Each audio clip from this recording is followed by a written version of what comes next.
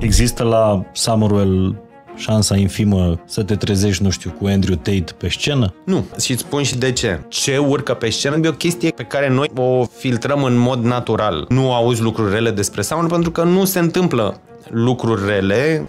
E în responsabilitatea unui organizator de festival să-și educe un pic? La o ediție mai veche, cineva ne scria și asta e România în care vreau să trăiesc. Eu cunosc multă lume care vine de la prima ediție, care și-a adus copiii și copiii acum sunt teenager și vin și ei... Voi ați făcut bani de la prima ediție? Nu, noi n-am făcut bani nici măcar de la a doua și cred că nici de la a treia. Ați plătit vreodată un milion de euro pentru un artist? Nu chiar, dar nici departe n-am fost. Care a fost cel mai greu de adus dintre toate trupele?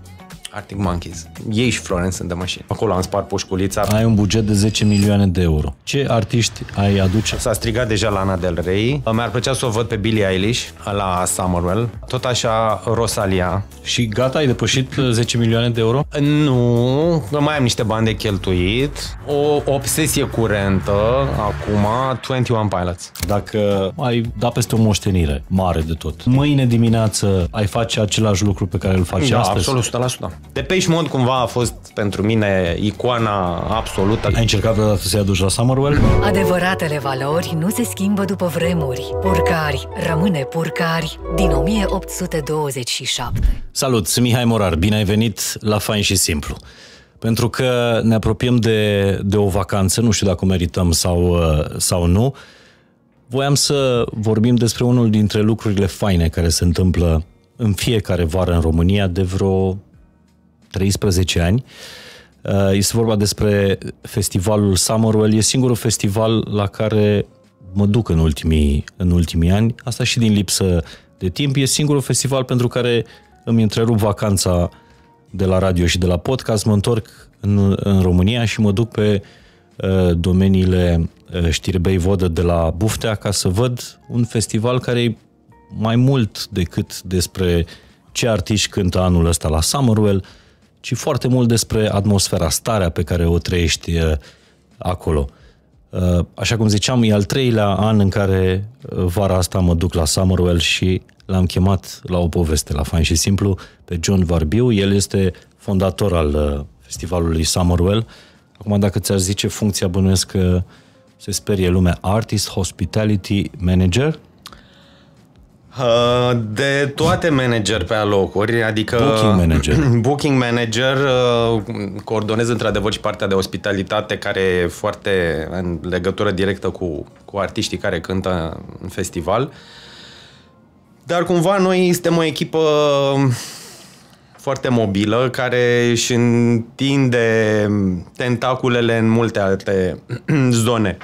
Adică la modul ideal aș face doar chestia asta, zic la modul ideal pentru că uh, aș lucra probabil mai relaxat și aș fi mai odihnit față de cum sunt acum cu trei săptămâni înainte de festival.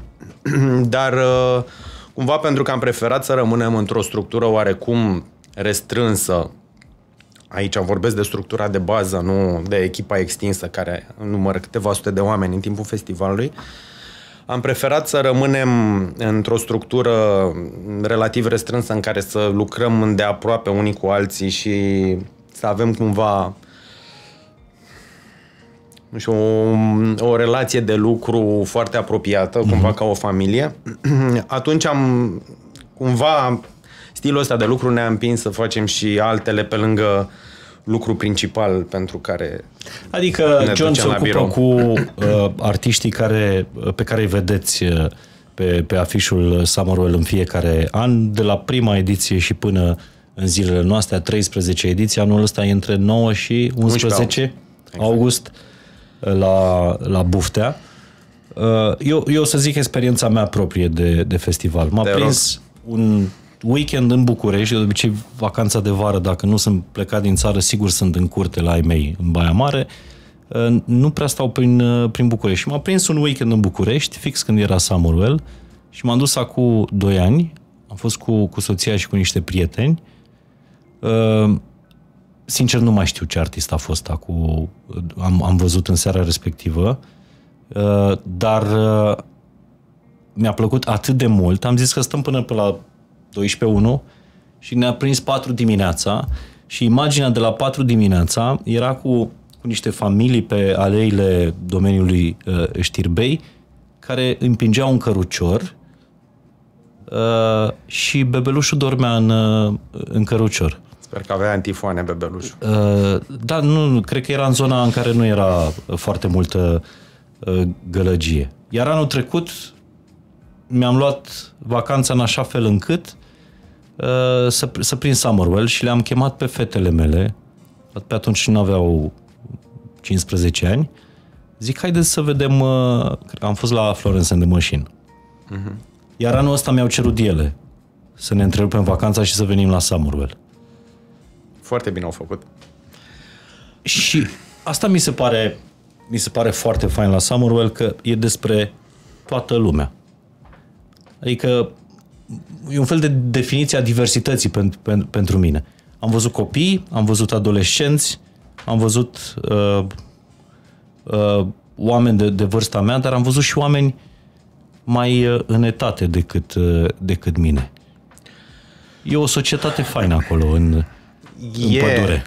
Summerwell-ul cumva și mă bucur foarte mult că s-a întâmplat așa pentru că pot să spun cumva că așa l-am visat și așa am încercat să-l construim de la prima ediție și până acum. E un festival foarte inclusiv. Um, e un festival în care lumea se simtă confortabil indiferent de vârstă.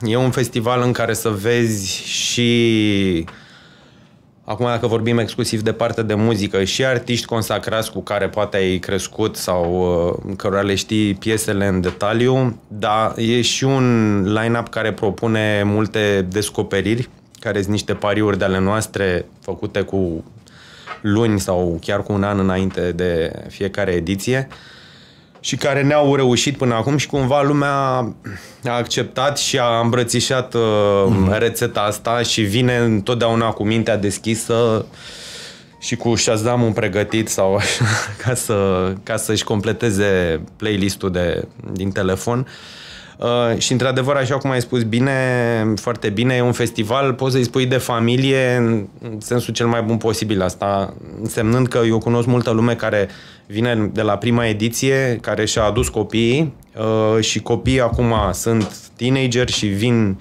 și ei la Summerwell Și le-ați făcut alături scena de lor? părinți.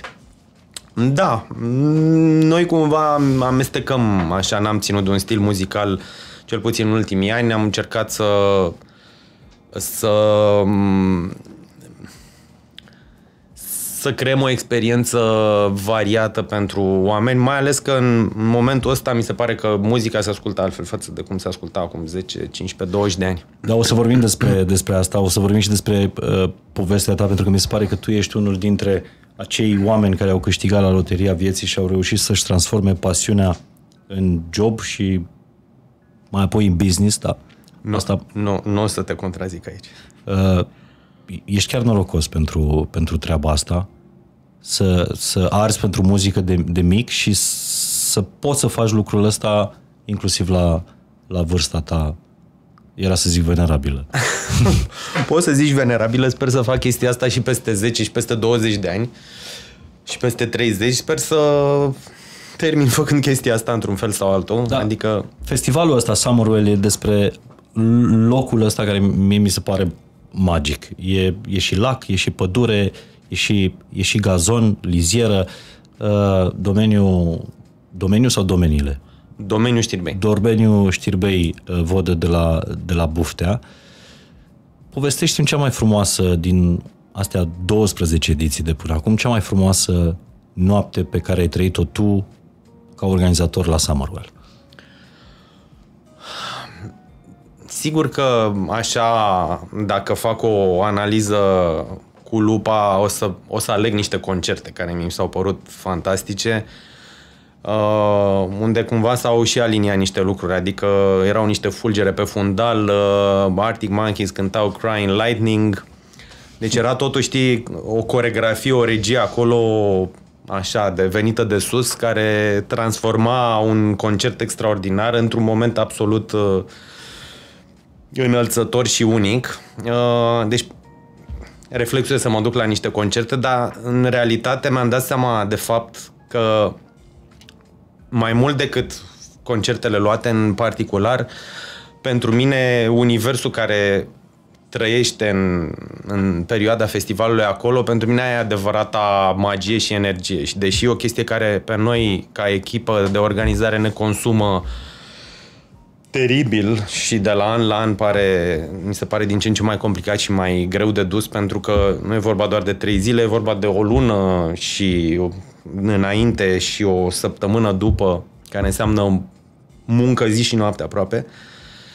Dar o să-ți, o să-ți povestesc când am ajuns la concluzia asta. Într-unul dintre ani, cred că a fost 2016 sau, 2000, sau 2015, nu mai mi-aduc aminte exact, am avut headliner pe Placebo.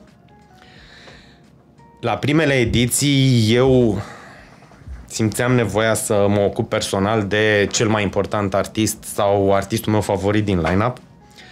Și așa că m-am dus să mă... Nu se mai întâmplă acum pentru că nu mai am timp și nu mai am energie și prea multe lucruri de făcut în rest, dar pe vremea aia era cumva o perioadă mai un pic mai romantică în care îmi acordam avantajul ăsta de a petrece niște timp cu un artist sau cu altul. Și atunci uh, a fost anul în care erau Placebo headliner într-una dintre zile.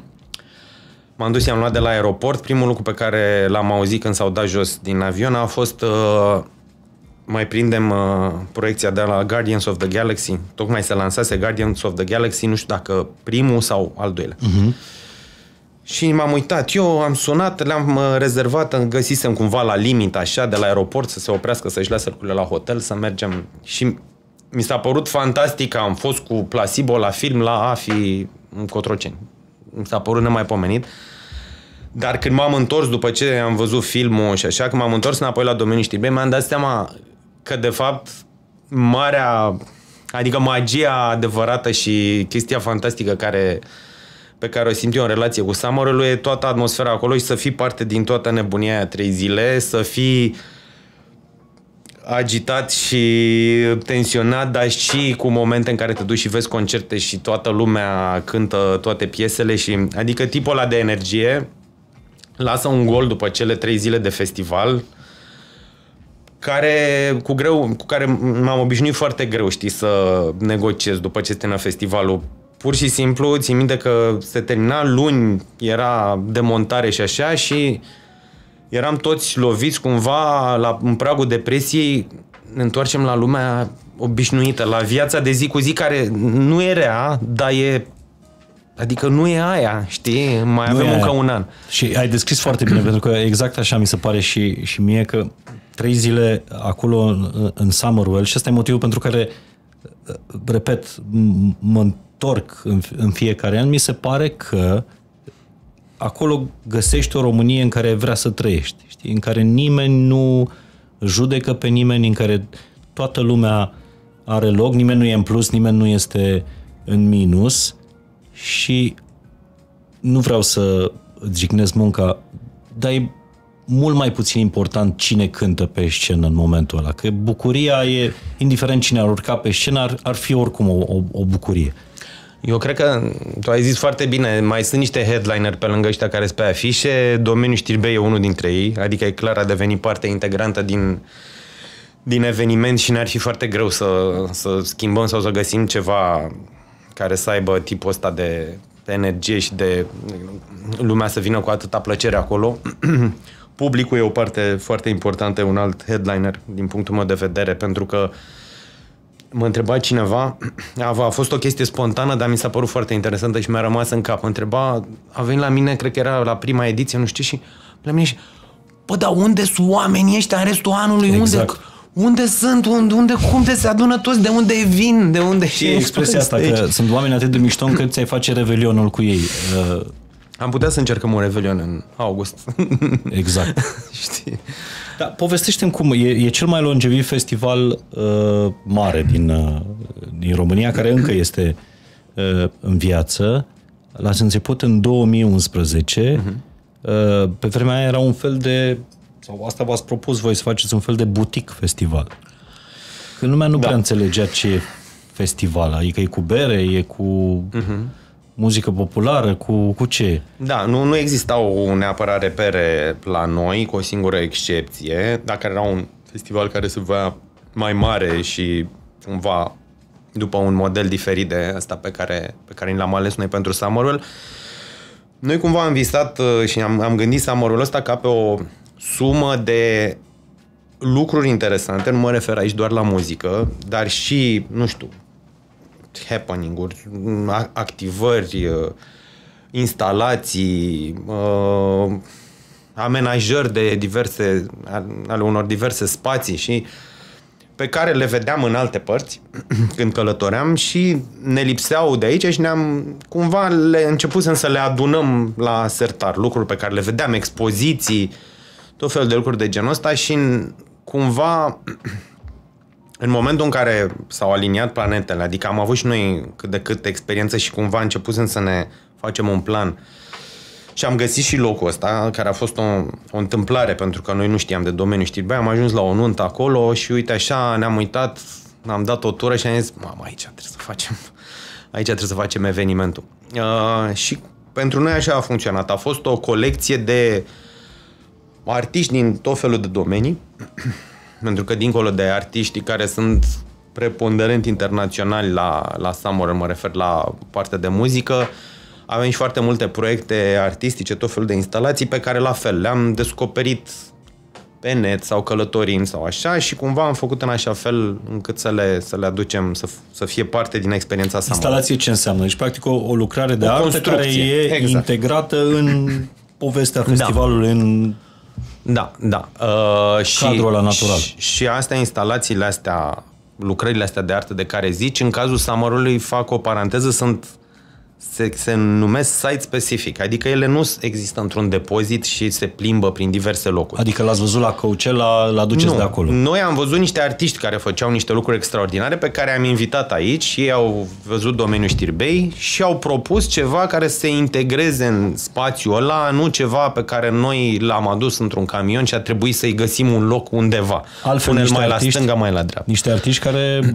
au făcut instalații inclusiv pentru Coachella și marile festivaluri din 100%. Noi am lucrat 2 ani de zile cu Morag Marsco, o artistă din Marea Britanie, care anul trecut, anul ăsta a avut una dintre cele mai importante instalații din cadrul festivalului Coachella.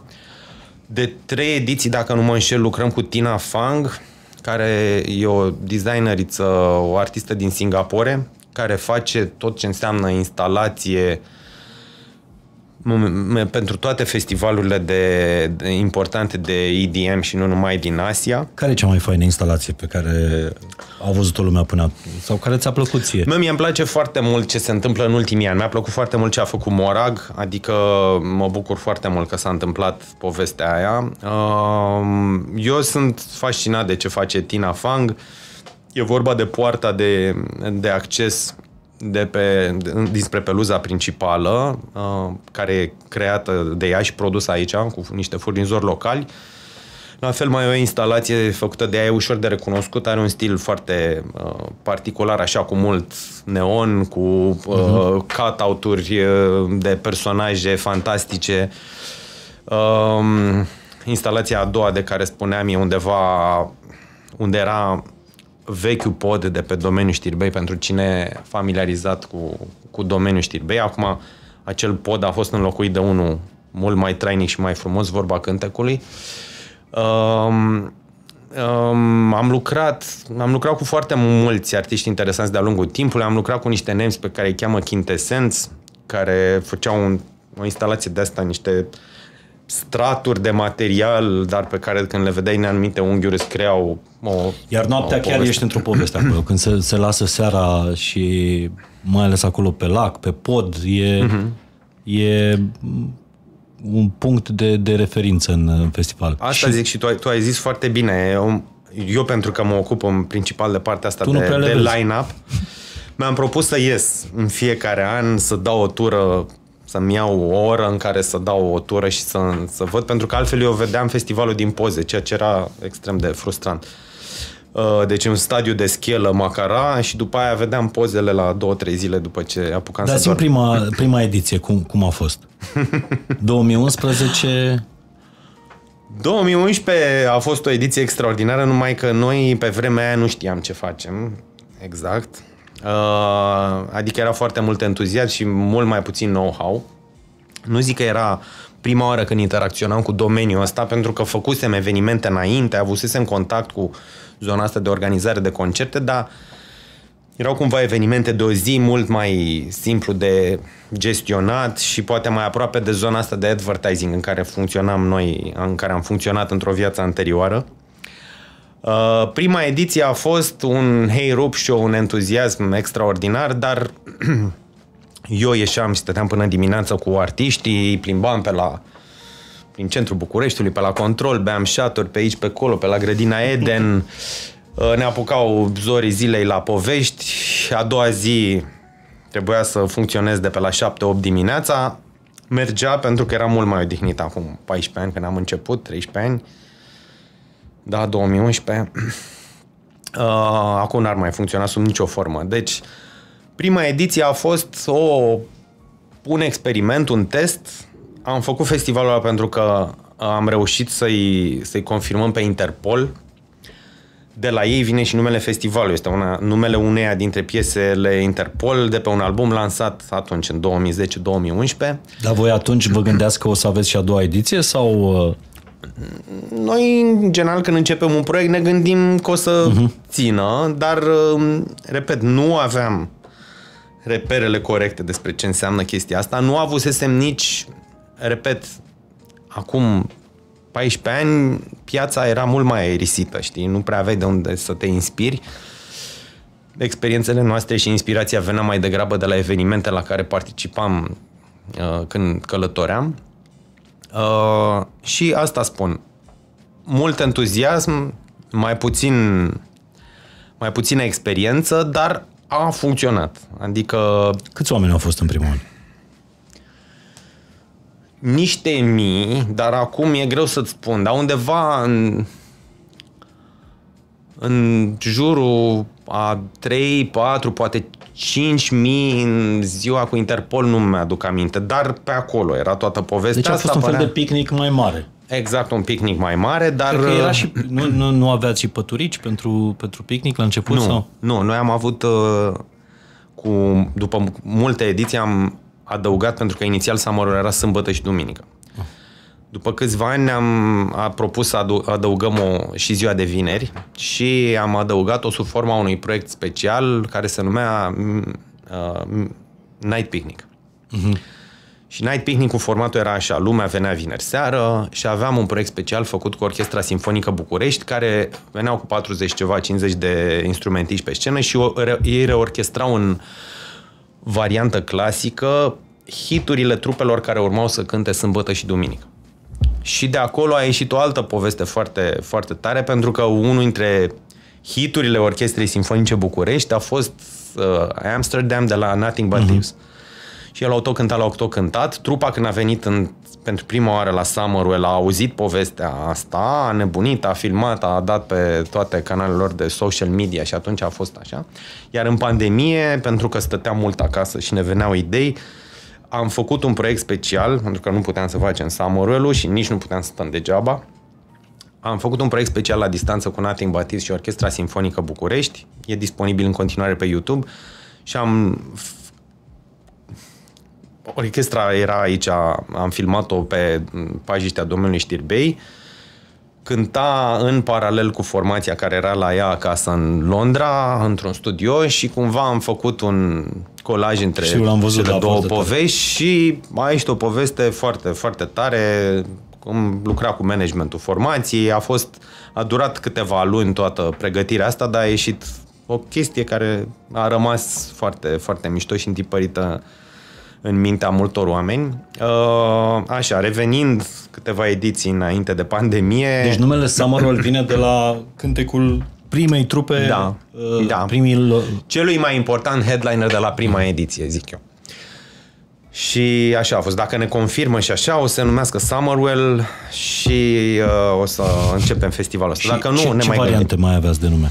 Oh, dar am găsit o listă de asta. Era ceva Green Forest, Electric Forest. uh, Era, era, era un brainstorming uh, consistent acolo, dar am și găsit lista și am și făcut la un moment dat un soi de expoziție cu geneza Summerul mm-hmm. în care era și asta înrămată, pusă pe un perete. Uite, o să o caut și o să-ți trimit eventual dacă, Dacă mai ai poza să mi-o trimis, să o atașăm. Da. Deci O să Electric, caut. Electric Forest era înainte de Electric Castle. Da, cu niște ani. Asta Da. era, discuția noastră era în 2010, când pregăteam festivalul. Dar zici, era o chestie, un cârnat de nume, unele foarte amuzante. Și când te oamenii ăia uiți știu acum. că așa a rămas numele A, nu, festivalului. nu cred după... că am avut ocazia vreodată să... Nu, A, dacă știu Interpol. Da. Da, 100%, nu, nu. 100% că Interpol au cântat de două ori la, la Summerul și am avut grijă să le spunem. și cred că au întrebat și ei, "Mm, ceva? Sigur, mersi. Voi sunteți muză, da, tare. Da. Deci asta a fost prima ediție. N- Fără multe calcule, fără știi, fără, adică experiența exista în zona asta de producție, uh, pentru că unul dintre membrii fondatori e un, un om cu experiență vastă în partea de, de producție și atunci cumva pe zona asta cred că a fost cea mai partea de producție și de sunet și de tot ce s-a întâmplat pe acolo, partea de security, cumva, acces, erau cele mai bine controlate. În rest, partea asta cu artiștii, repet, era, era era romantică în care toată lumea bea cu ei, era o veselie până Nu dimineața. voi ați ne făcut stăteam. bani de la prima ediție?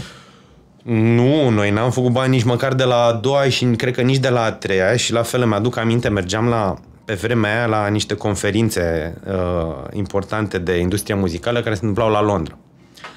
Și cumva încercam să ne facem și noi loc și pe la un mix and mingle de ăsta, cred că eram după a doua ediție sau ceva și ne plângeam, am prins un agent important pe acolo și în conversație ne plângeam că facem un festival și că pierdem bani. Și ne întreabă câte ediții ați făcut. Și ne zicem, a, păi am făcut două ediții. Toată lumea din jurul nostru pufnește în râs și ne spune nu, nu, reperul este reperul corect, ca să știți, dacă pierdeți bani și după a cincea ediție, atunci trebuie să vă puneți probleme. Prima, a doua, a treia, toată lumea pierde bani, stai liniștit. Zice, nu, e important ce se întâmplă după a cincea ediție. Dacă pierdeți bani, atunci un semn de, de întrebare că probabil chiar faceți ceva foarte mm-hmm. greșit. Acum faceți ceva greșit, dar nu e, nu e nicio problemă că pierdeți bani. Mergeți înainte, e ok. Dacă voi aveți încredere în ce faceți... Dar asta dezastrul ăla cu, contează. fu- cu furtuna când ați anulat o seară de festival, când a fost a doua sau a treia ediție? A fost a doua ediție, a fost o, o serie de ploi torențiale și setup-ul domeniului știrbei era altul atunci și scena era pusă undeva într-o zonă de pământ, iarbă, adică era în capătul opus al pajii, știi, față de cum e acum. Uh, știam cumva, exista prognoza asta că o să fie dezastru cu ploi și cu furtuni și așa, dar a fost punctul culminant după prima seară. Prima seară de festival a mers bine mers. Nu chiar bine mersi, dar a funcționat. Da, s-a dublat numărul de spectatori uh, în festival față de primul an.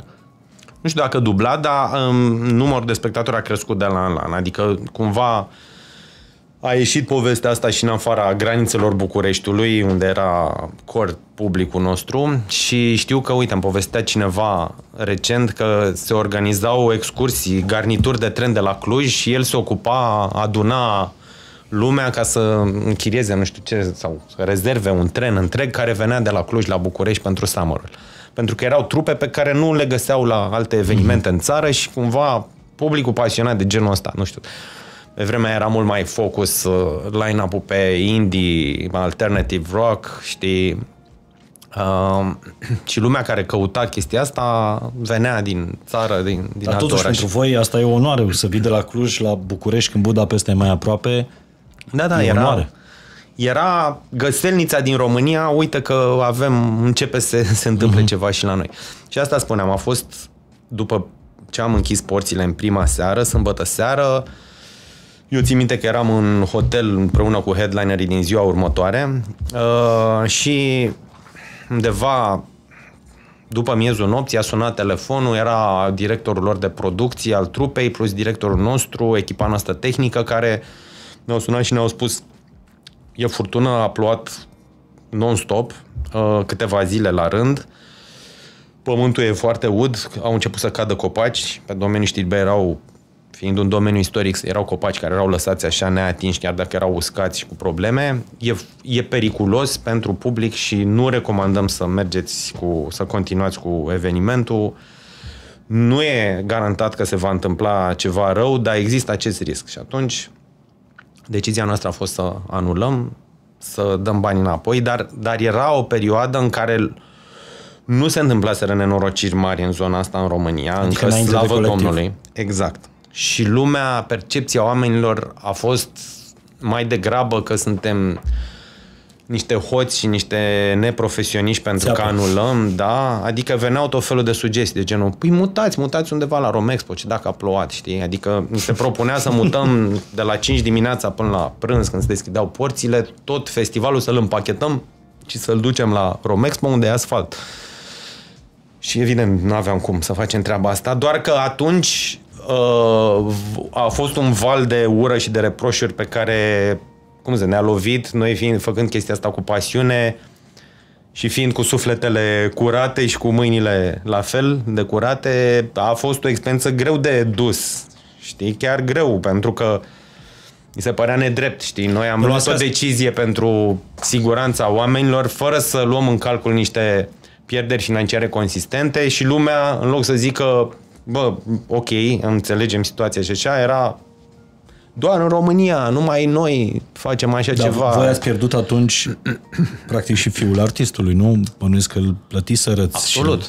Absolut, Nu vă bineînțeles, dau banii artistul, înapoi. artistul era în hotel, a, a fost, erau Stone Roses atunci, trebuiau să fie headliner, se reuniseră după multă vreme, e o trupă legendară în, nu numai în UK și uh, au, ne-au susținut, au dat și ei un comunicat în care spuneau că nu e vina noastră sub nicio formă, ci pur și simplu condițiile meteorologice au dictat decizia asta. Ușor inconștienți. uh, Dacă e să mă întreb pe, pe mine, nu știu dacă alți organizatori ar fi făcut uh, la fel să se gândească la securitatea uh, oamenilor în primul rând, dar mă întreb de ce în atâția ani de, de a 13 ediție uh, anul ăsta, băi, despre Summerwell nu prea se aud lucruri, în sensul de artiști care anulează sau evenimente, scandaluri în urma Nu sau festival. lucruri rele. Da, a, evident. Zic lucruri, mă refer la, la lucruri rele. Adică, Uite care, care cred eu că e răspunsul. Noi am început proiectul ăsta pentru că e, suntem de, de mici copii pasionați de muzică și de actul artistic în general. Și cumva pentru noi este așa de, au fost așa de importante experiențele pe care le-am trăit și toată viața cumva a avut un, un, o coloană sonoră făcută de artiștii ăștia și de diversi artiști, nu neapărat din zona muzicală. Cumva există reperele astea care ne-au ghidat de-a lungul timpului și care ne-au făcut viața mai ușoară și mai frumoasă. Că probabil, și nu probabil, sigur, reflexul nostru este să, cum zic englezii, roll the red carpet, știi, pentru artiști. Uh, indiferent că vin din alte țări sau sunt artiști locali cu care lucrăm. Și cred că respectul ăsta s-a văzut și în felul în care amenajăm partea asta de backstage și în catering-ul pe care l-au găsit aici, adică s-a, s-a văzut și în felul în care a organizat transportul și în felul în care îi primește echipa de hospitality și în felul în care aveau totul, toată informația și în felul în care încercam să-i facem să depășească rezervele pe care le-au venind într-un loc nou. Și aici nu mă refer doar un loc nou pentru că e România, dacă te pui un pic în pielea lor, îți dai seama că, de fapt, cine crede că au viață ușoară și că e simplu să fii rockstar sau popstar sau ceva, se înșală radical. Pentru că dacă, dacă stai să urmărești faptul că oamenii ăștia sunt plecați de acasă câte un an câteodată, da? Și nu își văd prietenii și familia și așa, și sunt într-un ritm dement la care probabil eu n-aș rezista, tu n-ai rezistat lângă zbori, nu știi unde ești, nu știi în ce oraș ai ajuns, ai chef, n-ai chef, te doare ceva, nu te doare ceva, te sui pe scenă și trebuie să fii at your best și să faci chestia asta seară de seară la rând, să cânti aceleași melodii și să... Pentru mine recunosc că ar fi imposibil și doar... mulți oameni probabil că judecă doar a, pf, scoți niște melodii, te umpli de bani, stai pe iahturi și așa, dar nu cred deloc că e așa. E și așa, dar partea de muncă e, presupune un efort pe care puțini oameni cred eu că ar fi dispuși să-l ducă ca să fii la nivelul ăla de, de performanță. E, faptul că ei vin într-un loc nou, cu oameni noi, despre care nu știu nimic, e un stres, n-are cum să nu fie așa. Absolut. Și noi, când am înțeles lucrul ăsta, am zis, băi, hai să vedem dacă noi am fi în locul lor, ce ne-ar trebui? Ar trebui să știm cât faci de acolo până acolo, cam ce mănânci, că e aer condiționat, că nu e, că ai breakfast și Wi-Fi la hotel, că hotelul e acolo și nu la marginea orașului, știi? Și cumva am încercat să le, să le trimitem dinainte o radiografie foarte clară ca să înțeleagă unde ajung, cu cine au de lucrat, cu ce echipă de producție și faptul că sunt standarde mai bune poate decât la festivaluri importante din alte țări. Și oamenii ne spun chestia asta, adică ne spun confortul, catering-ul, cum a funcționat transportul și nu știu ce, este peste festivaluri importante la care mergem și Evident, când ajungi la un... Știi că mergi la un festival nou într-o țară prin care n-ai mai călcat niciodată, care nici nu are renumele de cea mai... Nu știu cum să spun. N-are un renume bun din vari motive, poate. Uh, atunci, na, ai un, un stres în plus. Și noi am încercat să spulberăm cât mai mult din stresul ăsta, ca oamenii să se simtă bine și să, să facă their best performance mm-hmm. possible, știi? Aici. Și cred că Cred că asta e, de fapt, că nu auzi lucruri rele despre sound, pentru că nu se întâmplă lucruri rele și nu știu, plătim la timp, avem grijă să se simtă bine, îi tratăm cum am vrea să fim noi tratați când plecăm în vacanță și vrem să știm că pe butonul ăsta pleacă aer condiționat. Acum o să spun o întrebare uh, grea. Uh, există la Samuel probabilitatea, șansa infimă să te trezești, nu știu, cu Andrew Tate pe scenă? Nu. Uh, și îți spun și de ce. Uh, pentru că cumva noi ne facem o datorie, așa cum Așa cum pentru artiștii care, care vor să învețe câteva cuvinte în românește, facem chestia asta, știi, facem efortul Normal. ăsta de a, de, a, de a le de a-i sfătui ce ar fi interesant să spună sau drăguț sau la ce ar reacționa publicul. La fel uh, ne facem datoria de a le spune de a ridica steagul roșii dacă eu, eu îți spun acum ceva teoretic pentru că nu s-a întâmplat niciodată să trebuiască să spună, dar, dar mulți artiști ne întreabă și în general oamenii care fac chestii speciale, care aduc oameni pe scenă, în general întreabă. Inclusiv artiștii care au adus oameni din public pe scenă ne-au întrebat de fiecare dată cum funcționează chestia asta. E ok, nu e ok, uh, cum ar trebui să facă. Adică tot timpul ne-au întrebat care varianta optimă în care poate să se întâmple un moment de genul ăsta în care ei își aduc oameni pe scenă. Și am avut de-a lungul timpului multe situații de genul ăsta, inclusiv o trupă care uh, l-a adus pe scenă să facă o coregrafie acolo pe loc pe băiețelul unui, unuia dintre membrii fondatori uh-huh. ai Summerului, lui Andy.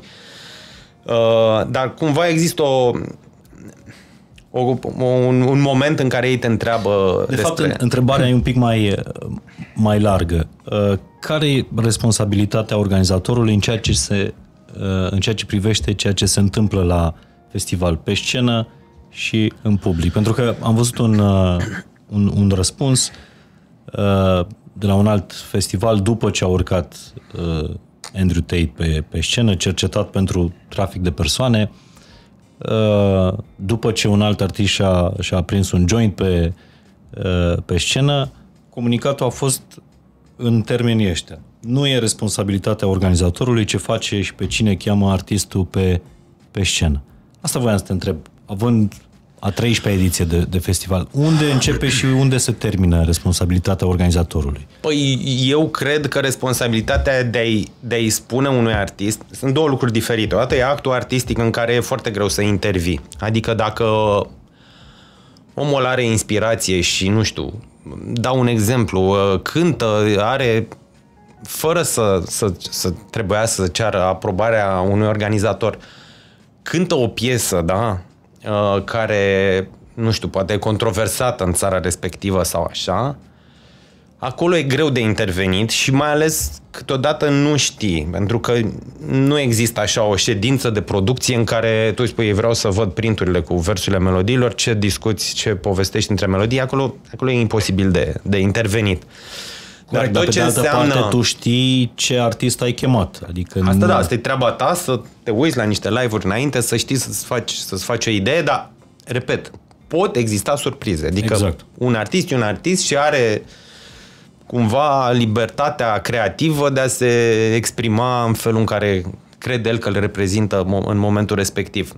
Ce urcă pe scenă, în schimb, e o chestie care, pe care noi, în mod particular, o filtrăm în mod natural. Adică și a funcționat până acum în felul în care îți povesteam. Când a existat o idee din partea unui artist, de fiecare dată ne-au întrebat, ne-au cerut părerea, ni s-a ni s-a cerut, nu știu, input într-o, într-o situație de genul ăsta, iar noi am dat de fiecare dată un răspuns foarte sincer, fără să fie vreo, vreo situație, nu știu, dramatică, să zicem, până acum. Nu, și mai voiam să vorbesc despre treaba asta. Am găsit uh, exprimarea asta. Misiunea Summer a început în 2011. Ce mm-hmm. înseamnă să ai, adică e, e un festival, un festival trebuie să aibă pe lângă, nu știu, line-up, uh, loc de desfășurare public, trebuie să aibă și o misiune și valori și... Cred că valorile festivalului sunt în mod natural și automat valorile noastre ca echipă și ca grup și a oamenilor care alcătuiesc echipa asta separat. Adică, ce să zic, Summerul e construit pe niște criterii estetice care sunt criteriile noastre estetice, pe o selecție de artiști care sunt, în primul rând, preferințele noastre, evident, amendate cu, cu preferințele publicului de care ținem cont. Um, și cred că, da, cumva ne-am asumat și rolul ăsta de eveniment care a devenit un reper cultural și există o mare atenție la, la ingredientele care compun fiecare ediție de Summerul, pentru că ne dăm seama că, așa cum spuneam, avem un public care începe de la din cărucior, cum spui tu, da? Hai să zicem publicul care poate să să judece și să analizeze ce se întâmplă în, în festival, începând cu 10 ani, până la oameni de 50, 60, poate.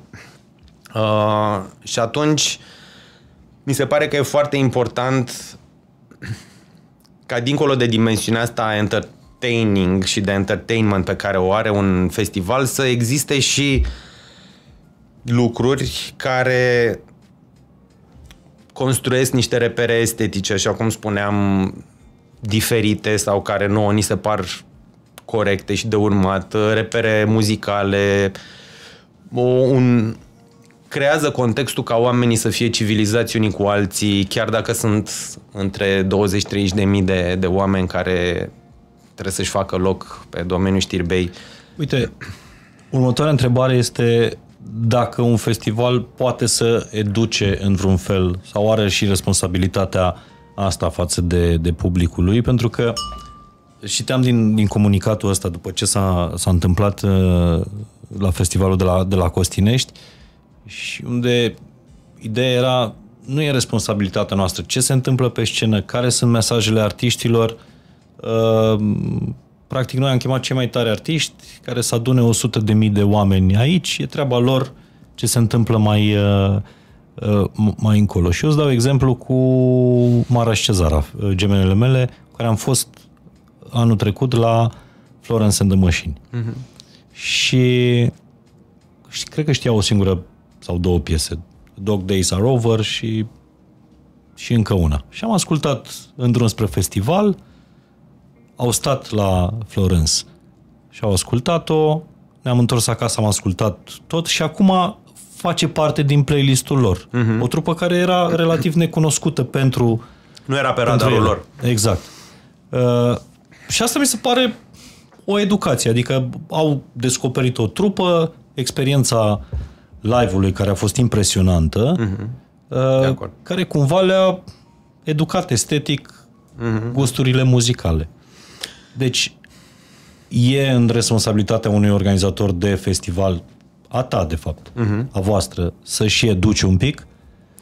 Eu cred că asta, partea asta de educație, în orice sens, am discutat despre ea, se întâmplă în mod natural. Adică Evident că lumea o să adere la niște criterii sau la niște repere pe care le propune un eveniment și că o să-i schimbe cumva felul în care vede lucrurile ulterior și felul în care relaționează cu oamenii, pentru că și asta e o componentă, așa cum spuneam, publicul mi se pare fantastic la Samorel și e parte din, uh, din, din experiență cu siguranță, pentru că mi-aduc aminte undeva la prin o ediție mai veche, cineva ne scria, mi-am uitat uh, ceva telefonul cu căștile în el, undeva pe iarbă am stat, am ascultat nu știu ce la telefon și l-am uitat acolo și m-am dus după o oră și l-am găsit și asta e România în care vreau să trăiesc cumva. Deși faptul că vezi vezi la un, la un eveniment ca ăsta că publicul respectă și nu numai respectă oamenii care e acolo, dar respectă și domeniul Știrbei, care este un domeniu istoric, lumea a înțeles lucrul ăsta și se poartă ca atare. Adică acolo abia dacă îți dai seama după o săptămână, după ce strângem și demontăm, abia dacă îți dai seama că a avut un loc un festival cu zeci de mii de oameni.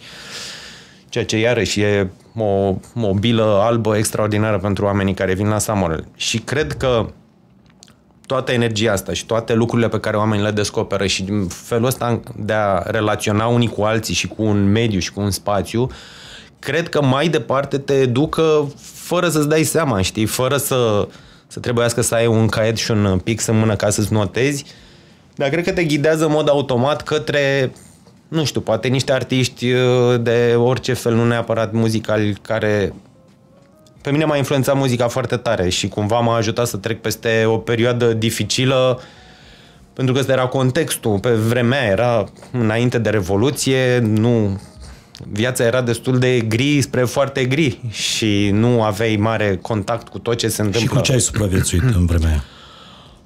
Păi eu am avut cumva am avut noroc de mic, știi, nu, nu s-a întâmplat chestia asta. Eu am avut noroc de mic pentru că eu am crescut înconjurat de muzică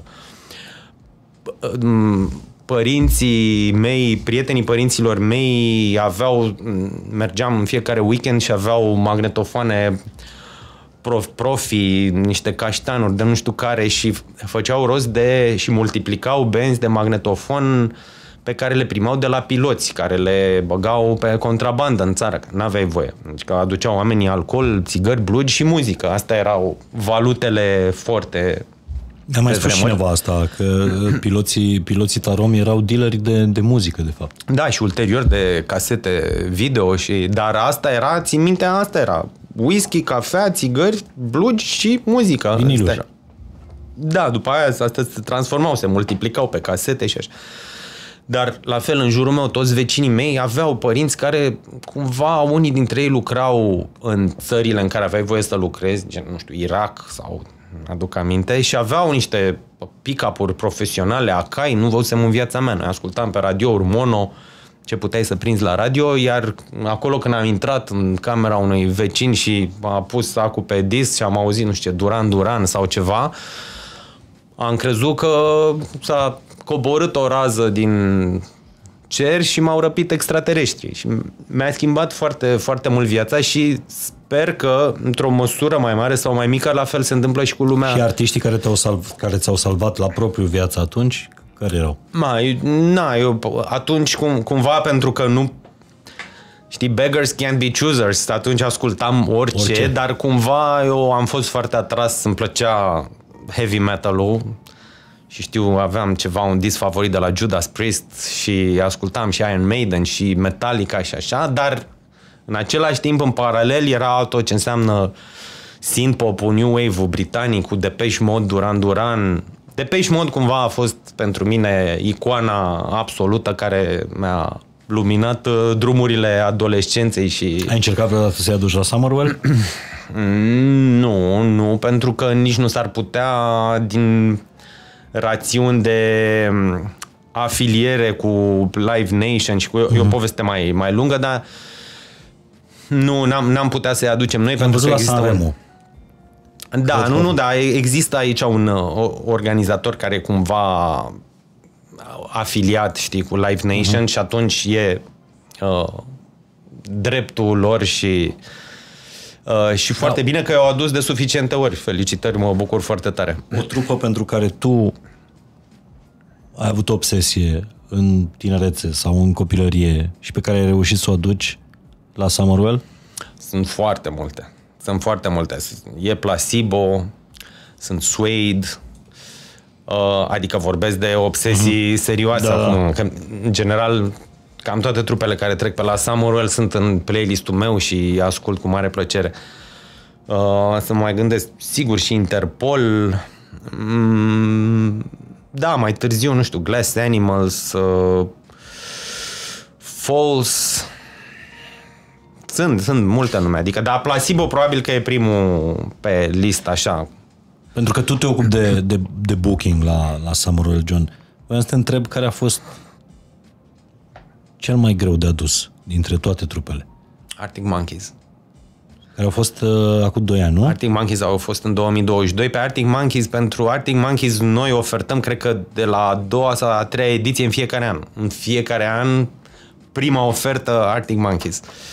Dar uh, nu, nu s-au legat lucrurile. Ei au și un, o cotă de care ani de zile n-am putut să ne apropiem, știi, adică o stratosferă a, a fiurilor ar, pentru live.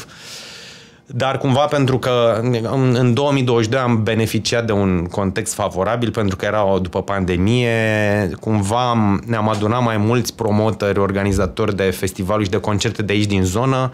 Din zonă însemnând din România? Nu, din zonă înseamnă din colțul Ok. okay. ăsta de Europa, știi? bănuiesc că nu au fost și la- Atena, Bulgaria, da. știi, deci de pe aici, Ungaria. Și atunci, probabil că pentru un tour manager a, a avut sens, știi, să facă un scurt turneu pe aici, pentru că erau toate foarte bine legate între Mhm. ele, nu pierdeau mult timp pe drum. Deci a rezultat chestia asta și uite așa ne-am... ne-am da, Arctic Monkeys iarăși o trupă pentru care clar am avut și am în continuare o obsesie, îi ascult foarte des și a fost așa un mo- moment istoric De pentru unde ai toată văzut echipa. show-ul lor? Noi avem un loc secret acolo lângă gard, ieșim undeva prin spate și ca Stai să un pic, putem deci să scena ajungem e, repede. fața, uh, scena e cumva în fața palatului, în spatele palatului. Da, știi deci băi? cum te uiți la scenă, undeva în dreapta, chiar în colțul scenei, lângă unul dintre ecran, ecranele alea de LED din, din dreapta, avem după un gărduleț, ne băgăm acolo și de acolo vedem, facem rocade, pentru că nu poți stai în general să vezi un concert cap-coadă, mai prins două, trei melodii, mai fugi că s-a întâmplat mm. ceva, te sună cineva, e o urgență, tot timpul sunt urgențe. Dar ei sunt artiștii Arctic Monkeys, artiștii pen- pentru care ați dat și cei mai mulți bani până acum? Uh, da, da. Mm, Ei și Florence sunt de mașini. Aici sunt, uh, acolo am spart pușculița, pentru că erau și ei și Florence de mașini, erau pe lista noastră de foarte multă vreme, știi, era cumva o... devenise un, un obiectiv, așa, știi, era o ambiție, bă, nu se orgoliu. poate după 10 oferte, 10 ani, hai că la un moment dat trebuie să se lege. Da, deci astea au fost cumva cele Dar cât, mai... cât de scumpi au devenit artiștii? Că înțeleg că asta e una dintre marile probleme ale festivalurilor, pentru că prețul artiștilor crește de la an la an, cel puțin după pandemie. Da, după a pandemie explodat. s-a întâmplat un, un fenomen de care eu nu sunt foarte încântat și anume prețurile au crescut, poate forțate și de, de, de context. Adică multe evenimente și puțini artiști mari care chiar poate să vândă foarte multe bilete, puțin în comparație cu, cu numărul de evenimente la nivel global. Uh, și niște fenomene de astea care au apărut peste noapte, uh, gen, nu știu, un artist care de a apărut, dar care are un mega hit pe TikTok sau pe Spotify sau pe ceva și care cumva în siajul acestui mega, mega, mega hit global, chiar dacă nu are o istorie în spate, își permite să ceară niște fiuri care sunt la nivelul unor artiști care cântă de 10-20 de ani cu mare succes. Deci cu un hit pe TikTok poți să atingi prețul fiul Da. unui artist cu Absolut. experiență, 20-20 Absolut, de ani? absolut. Am un exemplu de artist care a apărut, efectiv a apărut în pandemie și făcea niște mixuri pe acasă și a prins ușor și a devenit un pic, uh, adică a devenit virală povestea asta, nu sună rău, Doamne ferește, doar că e un om care s-a jucat pe acasă, nu știu, a produs niște track-uri uh-huh. drăguțe în, în pandemie și care doi ani mai târziu nu cânta sub un milion de euro. Adică la nivelul ăsta. De obicei ciclurile erau mult mai lungi. Ca o trupă să ajungă să, să ceară un fi de un milion de euro, îi trebuiau 10 ani și 5-6 discuri care să fie top 10 mm-hmm. pe piețele importante. Dar acum e cam cu o piesă, deci două un, un ajungi hit, la... Un hit, două pe TikTok te poate duce la un milion de euro? Absolut. Absolut. Tare. Da. Ați plătit vreodată un milion de euro pentru un artist? Nu chiar, dar nici departe n-am fost. Pentru da. înțe- înțeleg că festivalul s-a ajuns la sume de peste 2 milioane de euro da. pentru un headliner. Da, da, da, poate și mai rău. Acum poate nu știi dacă vine sau nu headlinerul respectiv. La summer vine. N-ați pățit niciodată să... Am pățit, am pățit, dar n-am pățit cu headlineri, uh, ceea ce e un lucru foarte bun. Am pățit în general cu artiști mai mici care cu ei s-a întâmplat, adică cu artiști cu care s-a întâmplat următorul fenomen. Din categoria artiștilor care au reprezentat pariuri de ale noastre, ni s-a părut nouă că o să aibă o ascensiune interesantă în perioada rămasă până la festival și așa s-a și întâmplat. Dar cumva s-a întâmplat la o scară așa de mare încât au zis ne pare rău, chiar trebuie să luăm o serie de date în America, Asia, piețe care sunt foarte importante pentru noi, dar n-am, n-am avut drame, ne-am înțeles, ne-au dat bani înapoi, au dat un comunicat, unii chiar s-au, s-au angajat să vină la o ediție ulterioară, Samur, adică s-au întâmplat puține, dar s-au întâmplat și dor și astea, nu poți să zici, știi, că nu. Care e cel mai mare artist pe care l-ai fi vrut în festival și l-ai, l-ai ratat până acum? Sau nu v-ați înțeles la, la preț? Mă, pot să-ți spun acum, știi, probabil că am trecut și eu prin diverse faze. Uite că nu știu ce să răspund la întrebarea asta. Înseamnă că cumva, cumva noi ne-am făcut... Uh, treaba. Da, ne-am făcut treaba cu Arctic Monkeys și cu Florence and the Machine. Uh, Probabil că un alt artist care e pe listele noastre de foarte multă vreme și nu am reușit din vari motive, nu numai motive financiare să ne apropiem, e Lana Del Rey care e un artist pe care ni-l dorim și noi, dar cu siguranță publicul Samorel îl așteaptă de, Clar. de ani buni de zile. Uh, doar că ea e un artist foarte special așa și nu nu are nevoie de bani, din categoria de artiști care nu are nevoie de bani neapărat și nu, adică este mai degrabă așa, mai în jurul casei, mai, nu știu, fără să Știi că le-am zis, turnee. Le-am zis uh, fiicelor mele că trag podcast cu, cu tine, cu nenea la care se ocupă de adus artiștii la Samură și mi-au zis spune să o aducă pe la de Rei, neapărat. da. Spune-le că știam că vor și facem tot posibilul, doar că nu... Na, am așteptat 10 ani și pentru Arctic Monkeys, nu știu cât o să se întâmple și pentru Lana Del Rey, dar uh, poate într-o zi. Dar cum se, cum se întâmplă o astfel de, de negociere? Uh, e ca în industria muzicală românească în care uh, sunt la impresar, impresarul are o listă cu tariful fiecărui artist, tu spui ok și transportul, cazarea, câte camere și ai plătit banii, ai dat avansul? Ar fi foarte bine dacă ar fi așa. Nu, nu e așa? Nu, nu e așa. Întotdeauna agenții trupelor te, te pun să faci tu o ofertă. Și aici e un truc pe care ei îl controlează foarte bine și anume pentru oameni care sunt noi în domeniu, adică bucări fără experiență, asta e o capcană, pentru că tu fiind obligat să faci o ofertă, dar neavând experiența și reperele corecte ca să judeci valoarea unor informații de la evenimente din, din apropiere sau așa, tu poți să faci o ofertă care este sub linie, da? Și atunci e foarte simplu pentru el să-ți spună, a, nu, sub nicio formă, trebuie să mai pui un 0 sau să mulțești cu 2 sau așa. În schimb, dacă tu dai de două ori mai mulți bani, el își freacă mâine și zice, perfect. L-am prins pe Acceptat.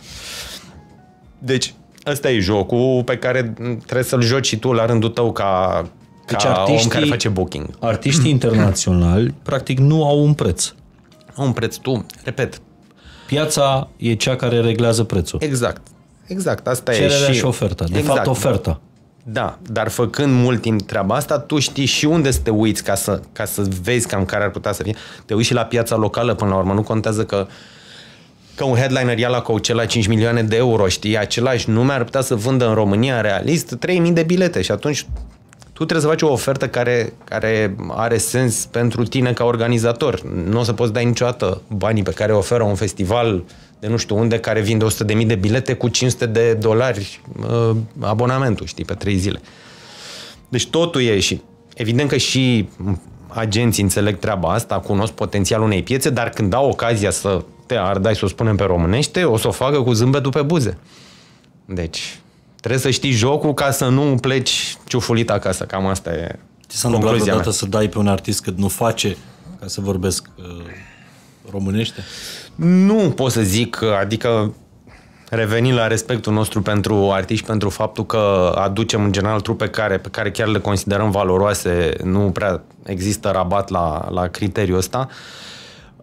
Până la urmă, cât nu face, am, am dat mai mult decât au dat alții, să zicem. Uh-huh. Asta da, asta s-a întâmplat cu siguranță și e tot un fenomen mai nou pentru că ajungi la un moment dat, există da, o limită de rupere. Tu trebuie să anunți un line-up ca să poți să pui biletele în vânzare și așa și trebuie să ai un line-up complet cu ceva timp înainte de, de datele festivalului și atunci câteodată se întâmplă să nu se alinieze planetele și să să nu-ți iasă toate ofertele astea, trupele să nu fie în turneu în zonă sau să vrea și, și ajungi, da, ca să completezi un line-up așa cum ți-l dorești tu, ajungi să, să supralicitezi. Ediția de anul ăsta, uh, de pe 19 august, uh, de Summerwell, uh, cum ți se pare line-up-ul?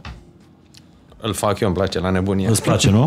îmi place adică foarte mult. Adică dorit, e mixul de... Da, e, e, e absolut mixul pe care ni-l dorim în general la fiecare ediție de Summer. Adică niște nume uh, consacrate. Aici ai, îi pun pe listă pe Kin, care sunt cumva o trupă legendară cu Everybody's Changing, a da. trăit multă lume și exact ce... Nu mi imaginez și eu să fie la piesa asta anul ăsta la eu, eu, eu, festival. Eu, eu repet, am făcut o pauză în a, în a ascultat, în a ascultat Kin și după ce am confirmat, am dat drumul la un, un playlist, am dat drumul ceva la un best-of sau ceva și toată lumea care era în casă, inclusiv eu eram, mamă, și asta, dar și asta, dar și asta. De fapt, în realitate, oamenii au o să țină o oră jumate de hituri pe care le știi, dar ai uitat că le știi cumva. Așa funcționează și... Ei sunt prima oară la Samuel? Ei sunt prima oară în România. Prima oară în România? Da, King n-au mai cântat în România, prima oară la Summerwell.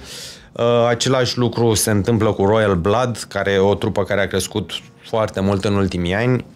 Um, e o trupă de rock care are o energie senzațională pe scenă și sunt doi oameni, dar pare mm-hmm. că sunt 20. Uh, Nothing But Thieves sunt deja cumva parte din din Poveste. istoria festivalului, din povestea Summerwell, așa cum spuneam, am avut și proiecte speciale cu ei, publicul îi adoră, ei se simt extraordinar de bine aici și dau, acum că tocmai s-a terminat campionatul de fotbal, dau 110% în teren. uh, Dar uite, asta e o trupă uh, foarte faină, probabil mai puțin cunoscută, uh, Tudor Cinema, Cinema Club. Club. Da, ei au ani buni Incredibil în spate. de fain cântă. Da, da, da, sunt, uh, sunt la fel, sunt pe lista noastră de mult. Nu s-a întâmplat, cred că erau confirmați în anul în care a început pandemia, adică pentru, erau confirmați pentru 2020, mm-hmm. dar noi atunci n-am mai apucat să anunțăm line-up. Chiar o să Parcă. vă rog, dacă ascultați podcastul ăsta, după ce, ce l-ascultați, să vă puneți în uh, un playlist cu uh, Tudor Cinema Club, să vedeți cât de ascultabil sunt așa, de fără să te agite prea tare și mi se pare că ăsta, decorul ăsta de la domeniul știrbei vodă de la bufte e perfect pentru un astfel de concert. Eu mai am niște recomandări acum, dacă tot suntem la capitolul recomandări, în zona asta de pariuri sunt niște olandezi care se numesc Son Mio, care o să cânte duminică. I-am văzut live și mi s-a părut, mi s-au părut fantastici și la fel o să, o să convins că foarte multă lume o să plece cu ei în playlist. E Lucky Love, un artist francez uh, foarte, a apărut foarte, foarte recent, care face valuri și e chiar un, un personaj special și muzica lui e specială.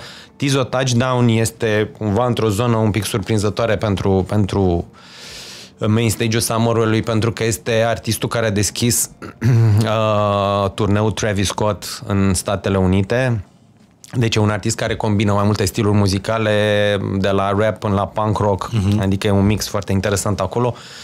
în general, lumea care vine la Summer pleacă cu 2, 3, 4, 5 trupe favorite în Repet, playlist. asta, e- asta e foarte fain, că la Summer nici măcar nu trebuie să-i știi pe toți care, care uh, apar Nici eu pe nu știu scenă, pe dar toți. e o atmosferă pe ca, care se creează acolo, e o, e o stare de asta de, de grație, stai, asculți și îți rămân niște, niște piese în minte pe care apoi ți le aduci, adaugi în, în playlist. Asta apropo de, de educare. Însă am o veste proastă pentru tine, John. Te rog. Uh, Trebuie aștept. am, am, am găsit un studiu și care crezi că este prioritatea principală pentru care lumea merge la festivaluri? Să posteze pe social media ceva? Sunt aproape? Ești aproape, în niciun caz artiștii. Uh, Networking. Asta nu e neapărat ceva rău Adică și să chiar e- socializezi. nu mi se pare ceva rău și se întâmplă intensiv, aș zice, la Samuel, care e un festival în care eu văd lume foarte relaxată, foarte deschisă la minte, foarte like-minded, iarăși ca să împrumut un termen de peste hotare. Um, așa cum spuneam, eu cred că Summerul e un, un soi de familie care se întâlnește o dată pe an, cum sunt familiile alea extinse, care se văd o dată pe an de Crăciun și se simt extraordinar și își propun să vadă în fiecare an de Crăciun în aceeași formulă sau într-o formulă extinsă. Așa cred că e și Summerul și vorbesc aici și de echipa care organizează, dar și de publicul Summerul care, se, care crește de la an la an și care înseamnă că, repet, vin alte generații care descoperă atmosfera aia și lumea de la domeniul știrbei și ce se întâmplă acolo în al doilea weekend din august. Ca, ca la fotbal, ca să continui uh, discursul tău, uh, publicul e al 12-lea jucător. Absolut. Deși spun specialiști, experți în fotbal, spun că niciodată publicul nu a câștigat un, uh, un meci de fotbal, însă mi se pare că la un festival publicul într-adevăr e, e foarte, foarte important. 100%. Da, pe lângă networking, 64% dintre participanții la festivalul spun că uh, asta caută la, la festivaluri. Uh, Câți crezi că sunt interesați de mâncare și băutură? 100%. Aș merge până 100%. 21%. Asta e o minciună. Dacă vezi ce e în food courturile alea, crede-mă Da, câteodată... dar nu e prioritate. Adică prioritatea e... a? Înțeleg, e doar un, um, un beneficiu Mhm. uh-huh. adiacent.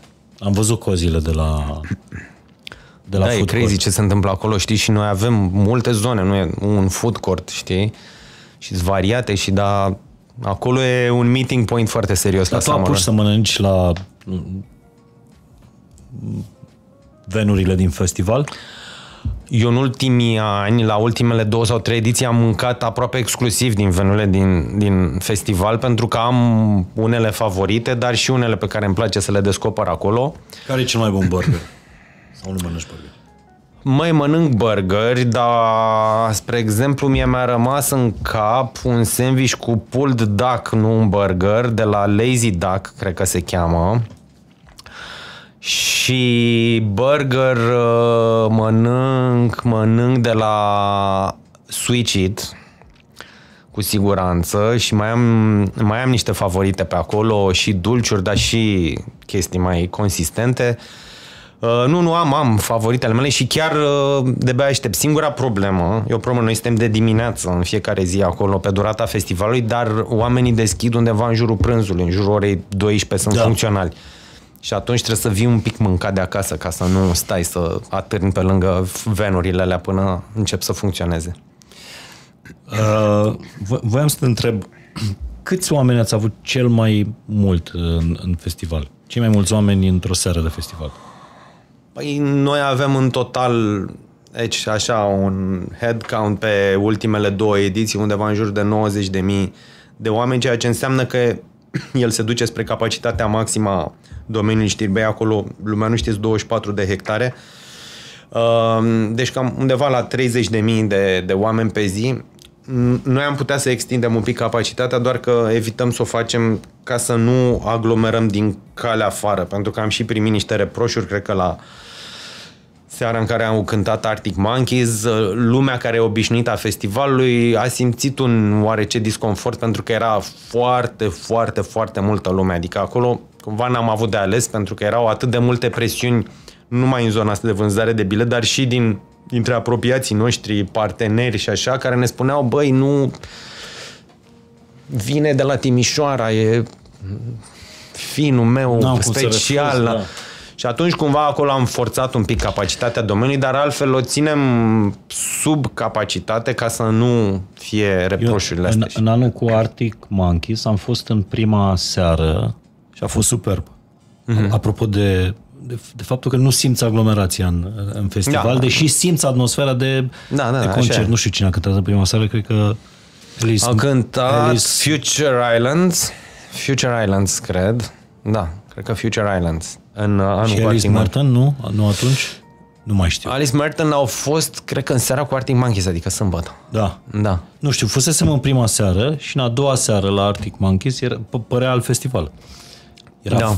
foarte, foarte mult. Aia, aia a fost seara record din istoria uh, Summerwell. Da, da, da, atunci au fost peste 30 de mii. Poate chiar mai mulți. Mm, Da, poate chiar mai mulți. Dar de ce, a, asta vreau să înțeleg, de ce vreți să rămâneți în zona asta de câteva zeci de mii de, de participanți pe seară? De, sunt absolut convins că ați avut provocarea asta și chiar șansa să creșteți festivalul, să duceți festivalul la următorul nivel, nu neapărat de uh, statut, ci de, Dimensiunea. de dimensiune, da. Ne-am gândit des la, la lucrul ăsta, evident că ne-a, ne-am gândit, doar că ne-am dat seama la un moment dat că noi nu facem festivaluri de muzică, noi facem Summerwell. Și Summerwell e acolo, e la domeniul Știrbei, e cumva în formula asta cu, cu tipul ăsta de artiști, cu tot ce-ți oferă domeniul Știrbei, cu lacul ăla, cu podurile, cu veverițele din copaci, cu... Și ni se pare că am construit o poveste așa de frumoasă acolo, e ne foarte, ne e foarte greu să ne despărțim de ea. Și dacă întrebarea următoare e de ce nu facem alt festival mai mare și să facem și Summerul, e pentru că pe noi Summerul ne consumă 8 luni pe an.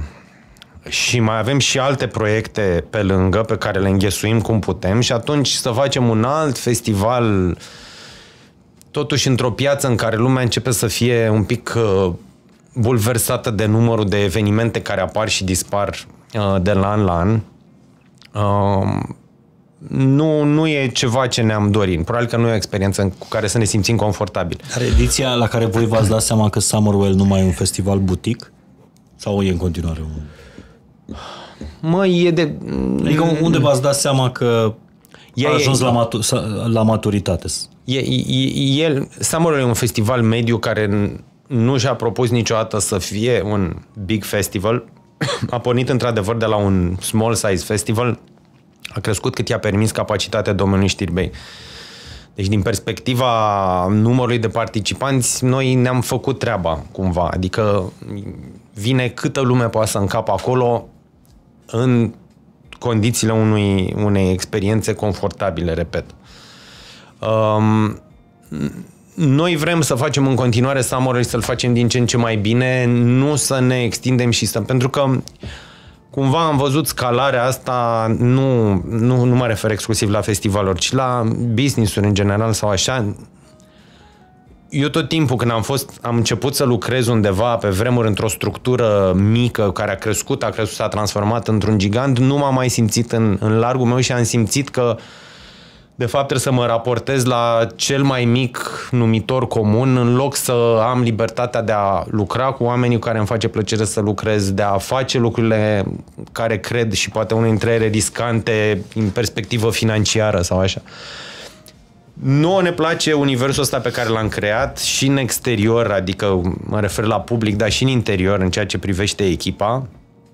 Și repet, e, e ca o familie care e foarte greu să-i propui să se mute din casa mm-hmm. care îi adună pe toți și să se mute în altă țară, în alt oraș, să trăiască după alte reguli, vorbind altă limbă, știi? Noi suntem confortabili făcând chestia asta, încercăm să o facem din ce în ce mai bine și nu și cred că dacă am, ne-am mutat și am face un alt festival în altă locație, am pierde o poveste care are ceva special aici. Adică și la care chiar ați are muncit o... foarte mult. Și care am, la care am muncit și la care na, noi vrem să muncim în continuare cât o mai putea. Deci dimensiunea asta de acum uh, e, e practic ceea ce încă ține în echilibru pasiunea asta pentru muzică, dar și uh, business-ul, jobul. Exact. Exact. Adică aici simțim noi că e, e zona noastră de confort în sensul în care nu confort în sens că nu trebuie să mai facem nimic și stăm mm. liniștiți și lucrurile se întâmplă de la sine, e departe de a, de a fi situația asta, e din ce în ce mai complicat în fiecare an.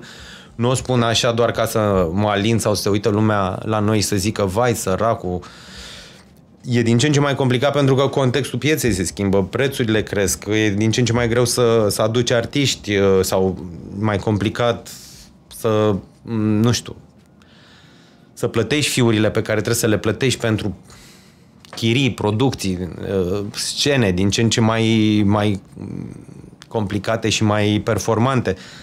Uh, deci, cumva, așa cum spui și tu aici, e echilibru în care, zona în care noi simțim că putem să păstrăm calitatea Summerwell-ului și reperele pe care ni le-am autoimpus și să dăm oamenilor o experiență la care să revină an de an și altora o experiență nouă la care să, să se raporteze în anii următori. Dar care este ediția în care ai simțit, wow, suntem mari, am crescut? Mă, a fost 2014, pentru că în 2014 cumva... Adică nou... a patra. A patra? A patra ediție a fost clar o... am trecut un pic în altă zonă, pentru că a fost anul în care a fost un line-up cu cele mai interesante trupe care aveau în momentul ăla niște hituri majore. Adică a fost anul cu prima oară în România, Tom Odell, John Newman, Bastille, 1975, uh, Placebo au cântat atunci. Sau, nu, nu, nu cred că Placebo. DXX, parcă, uite, nu mai am... Mm-hmm. Uh, uh, exact, dar au, au fost deci, cei mai hot artiști pe zona asta muzicală pe care o, o promovează Summerwell-ul au fost pe scena Summer și erau, nu știu, Tom Model cânta pe zi la ora 5, adică era o chestie de genul ăsta, adică și a fost momentul în care toți artiștii ăștia au pur și simplu au explodat și ne-am trezit cu un line-up mai consistent decât ăla pentru care dădusem banii. Cam așa a funcționat. Și lumea a fost, a fost prima ediție sold out de Summerwell, prima oară când am zis, wow, deci e, se întâmplă lucrurile așa cum ni le-am dorit. Asta s-a întâmplat în 2014. 14. Da. Deci acum, Ediția 2014, da. acum 10 ani. Uh-huh. Uh, dar cel mai, nu știu, un festival memorabil la care ai participat în afară de Summerwell? Eu mm, mi-aduc aminte, spre exemplu, majoritatea reperelor sunt mai degrabă în Londra și uh-huh. Probabil că spun Londra pentru că și publicul acolo are o, un apetit pentru muzică live pe care nu-l mai întâlnești nicăieri pe lumea asta și chestia asta te, un, te, te topește orice fel de barieră culturală, lingvistică. Mă, E foarte simplu să, să te simți ca acasă la un festival în UK, mai ales dacă și tu ești pasionat la rândul tău, imediat se sparge gheața și ești prieten cu toată lumea din jurul tău. Uh, deci da, am fost la Lovebox tot așa cu foarte multă vreme, 15 ani, ceva de genul ăsta și am văzut ceva acolo, niște icoane am văzut Grace Jones, am văzut Empire of the Sun, am văzut uh, Blee Kelly, am văzut Roxy Music cu Brian Ferry, se reuniseră după o absență foarte lungă. Deci am văzut chiar niște trupe mari, în, repet, într-un parc, în Londra, era și ușor de ajuns. Uh, eu nu sunt un mare fan al campingului sub nicio formă și atunci caut Adică mai nu, degrabă... Nu te duce la un Glastonbury sau... Probabil că nu. da, nu, nu, nu, nici... uh, Nu, nu, Deci nu pot noroi să zic. aproape în fiecare an. Da, nu, am încercat când eram mic, ai mei și-au făcut datoria și m-au dus cu cortul, dar uh, în- după vreo oră urlam și m-au ținut în... M-am dormit în mașină și de atunci au înțeles că, Tu ești mai urban. că sunt, da, da. Adică plimbările în pădure, dacă sunt sub o oră, două, Asta îmi zice, fac eu, plăcere, zice un om dar... care ține un festival în pădure. Da, da, știi cum e. E asfaltat. Adică are niște și alei un- asfaltate. E un, e un domeniu care are legătură, are o istorie cu nob- nobilimea, cu știrbei vodă, mă rog, Regina Maria și așa mai departe. Da. Uh, Deci câți oameni lucrați pentru, pentru Samuel? O, o, 100 de oameni? Nu, eu zic așa, e o echipă de bază care are undeva, probabil așa, fac o estimare rapidă, undeva în jur de 20 de oameni. E o echipă care lucrează permanent la proiectul ăsta. 20 de oameni tot anul. Da, cumva asta, zicem, e echipa de bază, echipă de uh-huh. supune de parte de comunicare, booking, relația cu sponsorii, site design, producție, să zicem asta o echipă de bază, dar există o echipă extinsă care probabil ajunge undeva la 100 de oameni în apropierea festivalului și echipa extinsă, extinsă, îmi imaginez că are câteva sute de oameni care au legătură, adică care fac chestii, instalează, demontează, se asigură că totul funcționează în zilele de festival. Demontează, repet, uh, sunt oameni care au legătură cu partea tehnică, cu partea de, de securitate, curățenie, adică și care sunt, de, de, de ce spun că e o echipă extinsă? Pentru că noi lucrăm cam cu aceiași furnizori de ani buni de zile, și ne bucurăm să ne vedem cu ei în fiecare an și ca un fel de tradiție de asta ne adunăm și avem weekendul nostru. Da, după, după festival aveți și o petrecere, știi cum există Revelionul Ospătarilor. Uh, în- nu Da, știu cum e, avem în mijlocul petreceri ei. și în timpul festivalului. Noi, uite, spre exemplu, sunt niște oameni foarte drăguți de la, care se ocupă de parte de producție, care vin de la Sibiu în fiecare an și e tradiție. Vin cu cea mai bună brânză, uh, nu știu, șorici, slănină. Ovidiu, nu? Sau cine? Da, Ovidiu, sigur, este unul dintre ei și uh, acolo se întinde o masă secretă, nu are acces chiar toată lumea, un fel de secret spot unde cei câțiva aleși din afara zonei de producție sunt invitați discret și acolo este cumva masa aia spune a început summer sau a început ieri. Asta înainte să dați drumul, să Da, deschideți cumva, porțile. cumva e așa un uh, welcome uh, secret uh, ceva, mm-hmm. așa, și avem cu siguranță după festival, da, cu, după festival când spun trece o lună, adică o lună se mai liniștească un pic apele, se mai întoarcă lumea din vacanțe și avem, ne adunăm echipa asta extinsă, să zicem, probabil undeva spre 100 de oameni și avem un, un party, un remember uh, uh, Summerwell undeva. Sunt curios cât de mare e anxietatea să lucrezi, mă rog, 300 și ceva de zile pe an pentru 3 zile. Și când zic anxietate, mă refer la dacă se întâmplă ceva în alea 3 zile. Care e în afara controlului, total în afara controlului vostru. Pentru că nimic nu e exclusiv în controlul nostru. Da, eu, eu cred că pentru noi, acum mă gândesc la chestia asta cumva Fiind cu- pentru, Trei săptămâni înainte de festival. pentru... Mă gândesc în termenii ăștia prima oară, pentru că altfel e, e un proces de zi cu zi în care, pe care eu îl percep mai degrabă ca pe niște etape și nu nu mă uit la finalitate. Finalitatea e un rezultat al unei munci de zi cu zi, de săptămână cu săptămână, în care lucrurile se construiesc din bucăți, știi? Noi vedem chestia aia asamblată cu o săptămână înainte să deschidem porțile.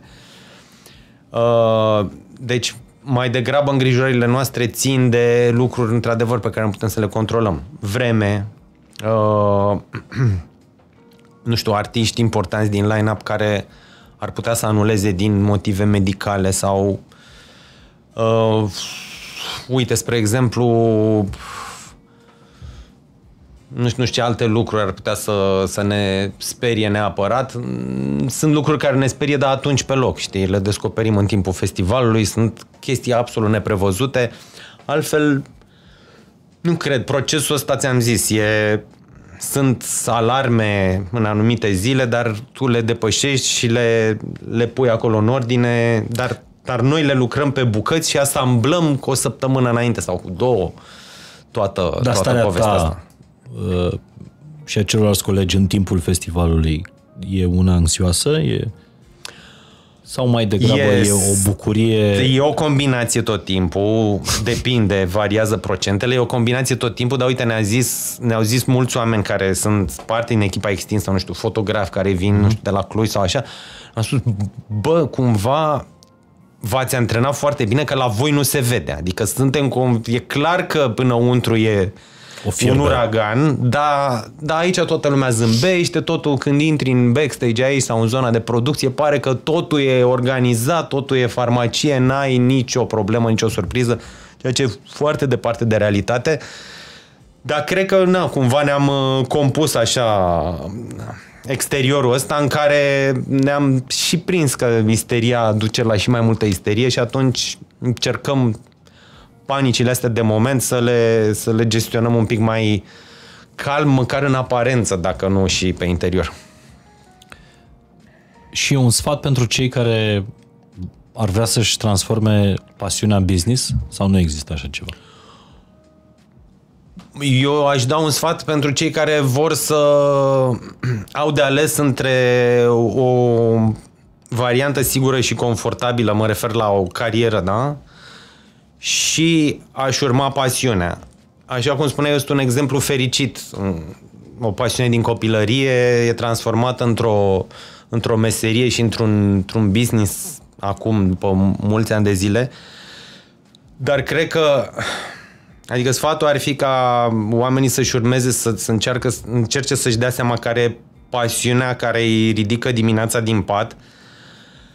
Pentru că eu cred că oricât te-ai chinui și oricât ai, oricâți, oricâți bani s-ar întoarce dintr-o chestie de genul ăsta, la un moment dat, dacă, dacă e, e doar un job, o să-l simți ca pe o povară. Și nici nu cred că o să reușești vreodată să excelezi într-un domeniu de care nu ești pasionat.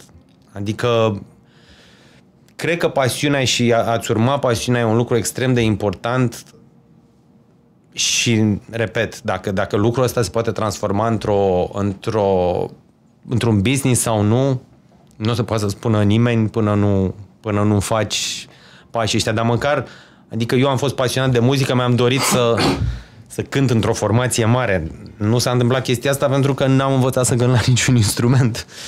Și, dar uh, fac ceva care are legătură foarte mare și care îmi dă niște satisfacții incredibile și faptul că sunt parte din construcția unei experiențe la care niște zeci de mii de oameni de ani de zile vin și pleacă, adică plâng, râd acolo și fac prieteni, își fac poze și își promit să revină în anul următor, e mai mult decât un câștig financiar fabulos pe care, nu știu, poate dacă aș fi ales o chestie mai pragmatică, l-aș fi avut și o siguranță a zilei de mâine pe care industria asta nu prea ți-o oferă. John, dar de când faci Summerwell ai avut uh,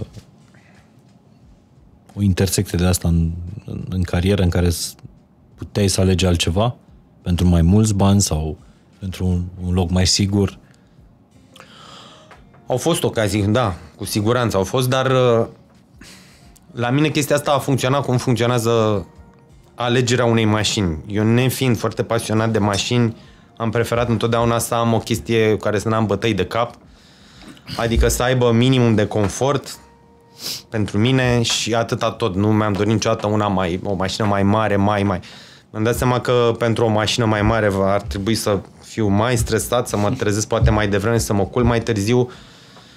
Și cumva am încercat să-mi organizez lucrurile în viață în așa fel încât să pot să, să am să, să, să fac lucruri de care să mă bucur și să-mi păstrez pasiunile și curiozitatea, să mi le prelungesc cât mai mult, să nu ajung la o anumită vârstă să fiu plictisit și să mi se pare că nu mai e nimic nou și interesant de făcut.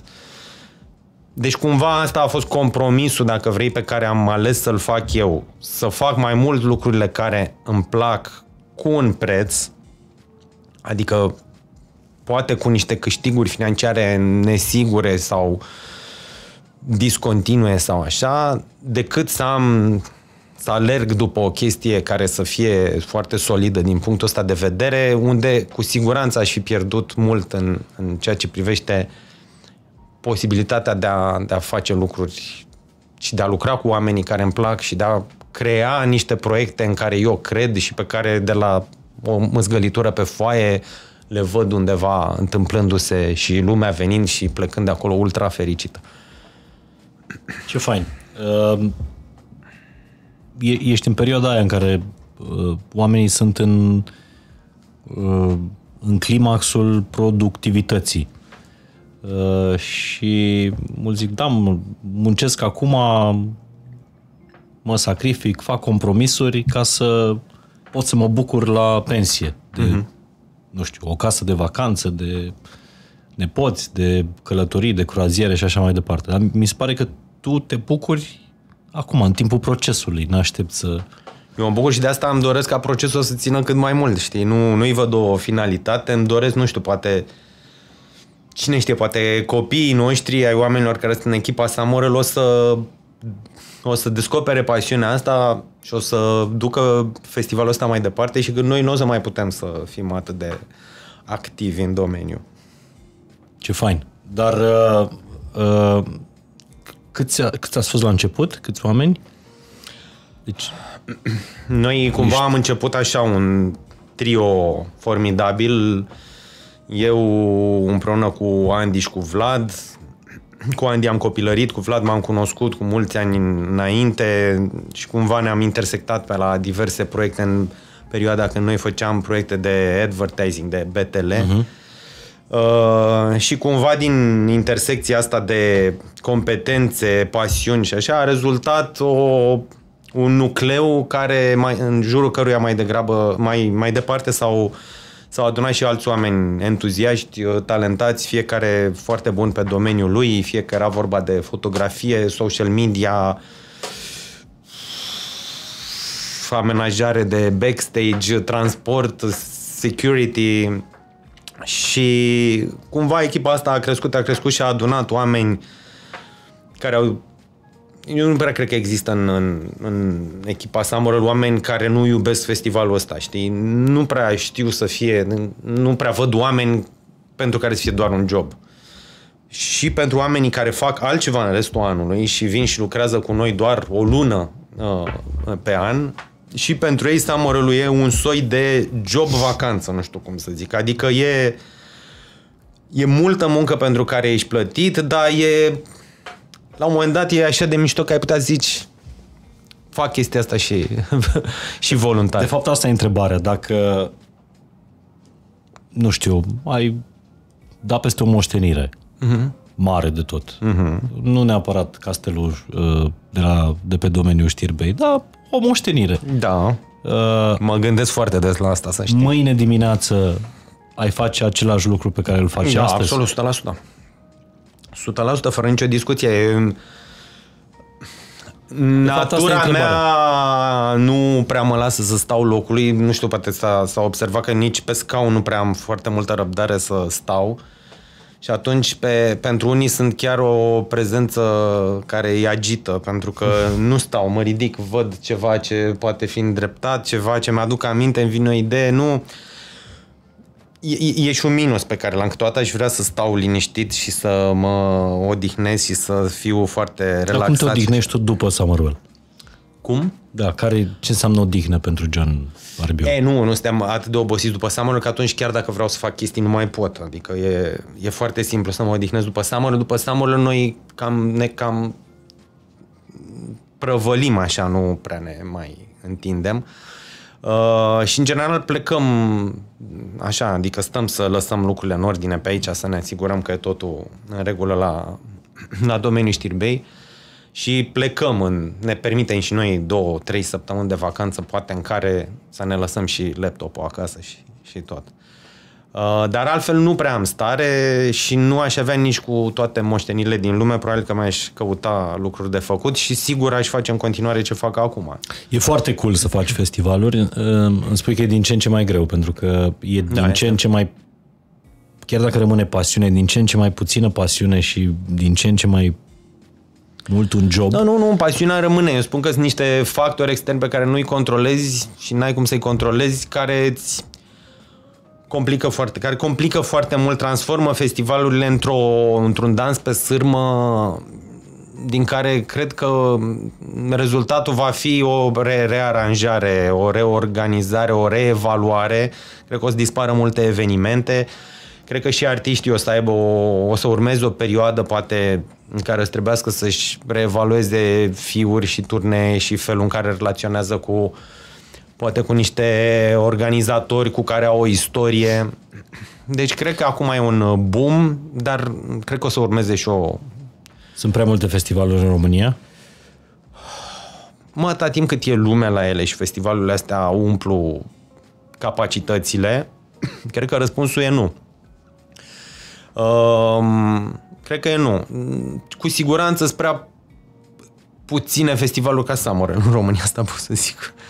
Dar asta e un lucru bun uh, și faptul că sunt multe festivaluri, mai multe decât atunci când am, am început noi să facem Summerwell, noi am resimțit-o ca pe o chestie care cumva ne ajută, știi? Pentru că făcând un lucru pentru care lumea de cele mai multe ori te aplaudă, există evident tot timpul riscul ca tu să zici hai că mă relaxez și pentru că apar evenimente, apar și dispar evenimente, asta e clar la noi, dar astea care apar și rămân și, și au și ele un, un set de valori pe care poți să-l, să-l intuiești foarte bine și echipe profesioniste în spate și tot, te, te ajută un pic să fii mai concentrat pe ce faci, știi? Adică, evident că stăm și ne uităm la lucrurile care se întâmplă în jurul nostru, la evenimentele uh-huh. care ni se par bine făcute și sunt câteva în România și că, da, învățăm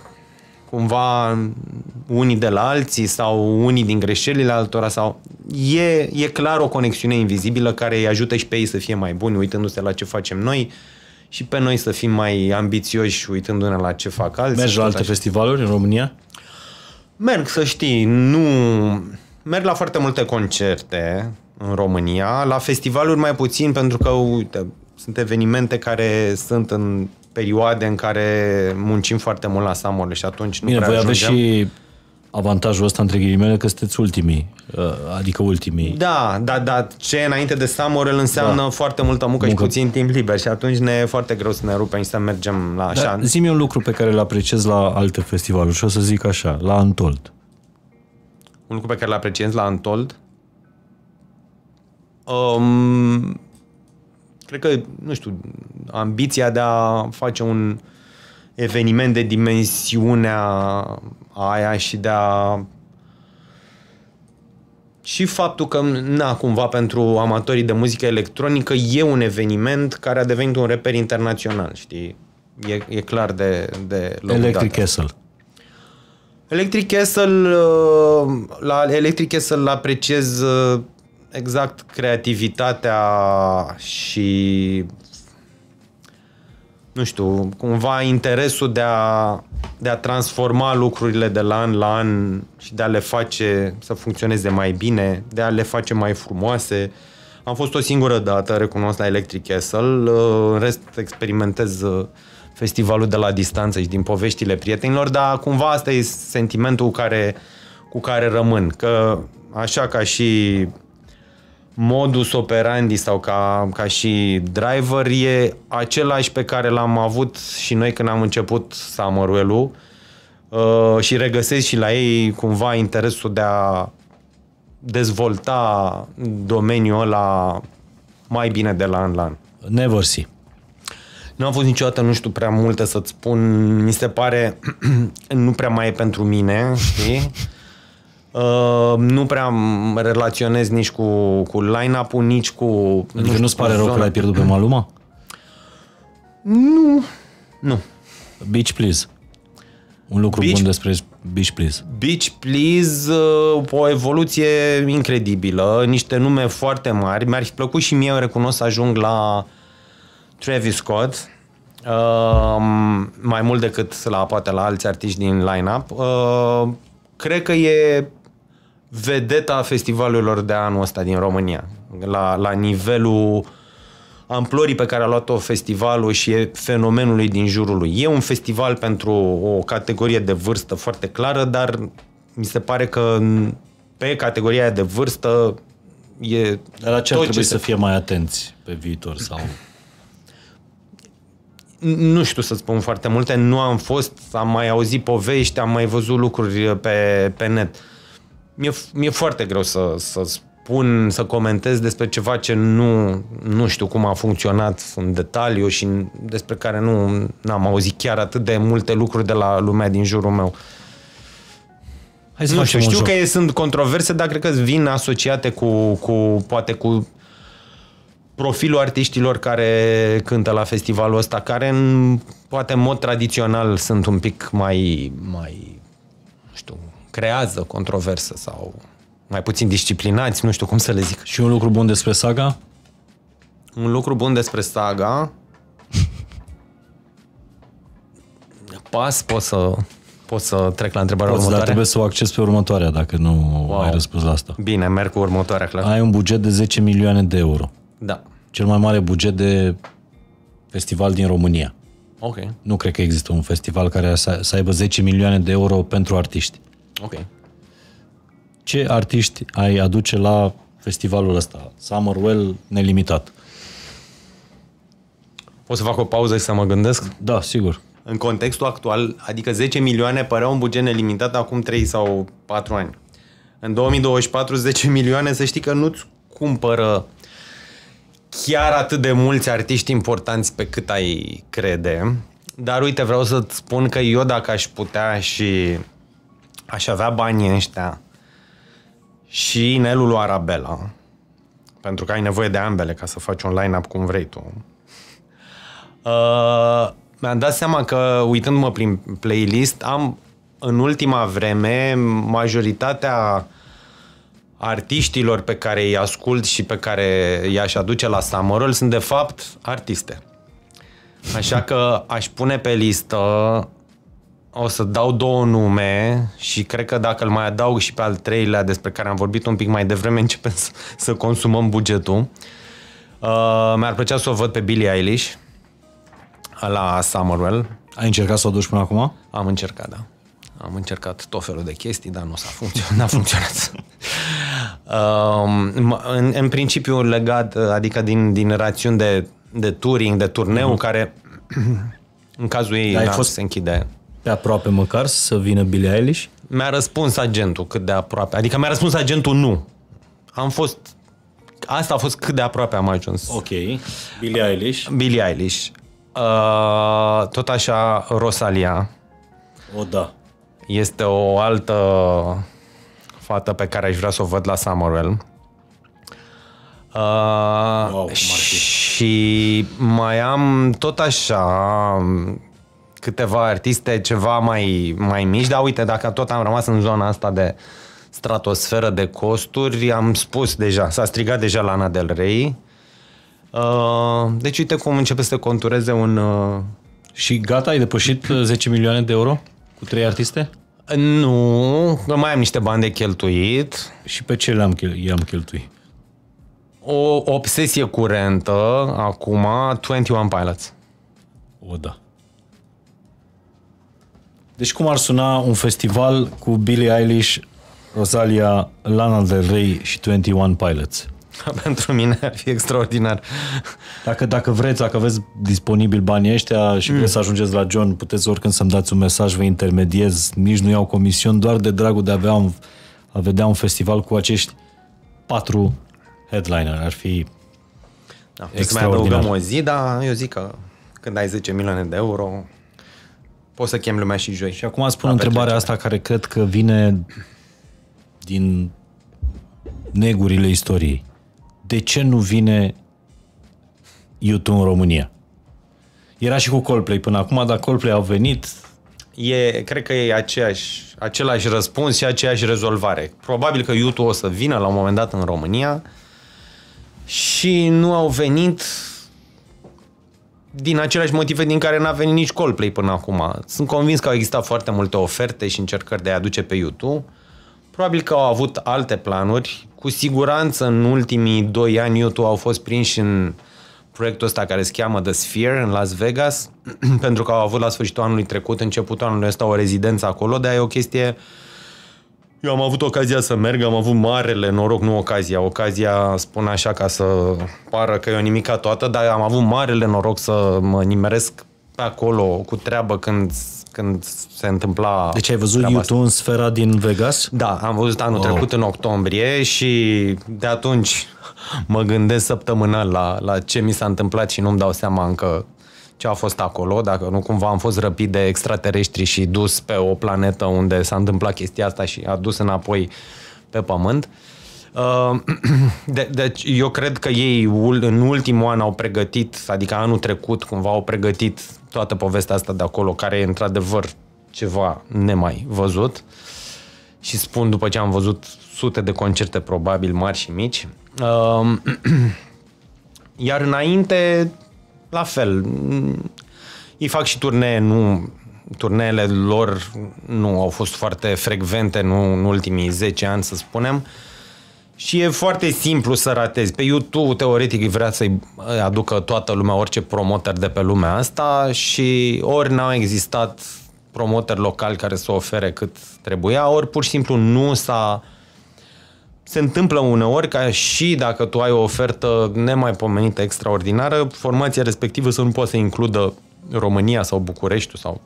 Dar mai e România, Bucureștiul o destinație de mână a doua pentru, pentru artiști? Nu cred că e o destinație de mână a doua sau pentru artiștii care uh, chiar au rămas cu mentalități de acum 20 de ani, nu știu, habar n-am. Uh, adică se pare că piața noastră de a consuma evenimente uh, și tot ce e legat de evenimente a, a evoluat. Mi se pare că suntem un, unul dintre cele, nu știu, mă uităm la europanul de fotbal, de exemplu. Uh-huh. Adică nu mai suntem un popor de, de mâna a doua. Eram acolo, jumate-jumate stadionul. Chiar mai mulți. Cu siguranță, nu. Eu cred că România a devenit o destinație foarte interesantă pentru unii, pentru că e o țară în care și au, din care și au banii corecți, publicul e foarte receptiv și bă, participă la concertele astea. Nu e un public inert, cum mi s-a întâmplat să văd, nu știu, poate la concerte prin alte țări, unde am fost uh, unde îți dai seama de fapt cât de important e publicul și de asta îți spun că am preferat să mă duc la concerte în UK unde aveam garanția că toată lumea e acolo, trup mm. și mhm. suflet.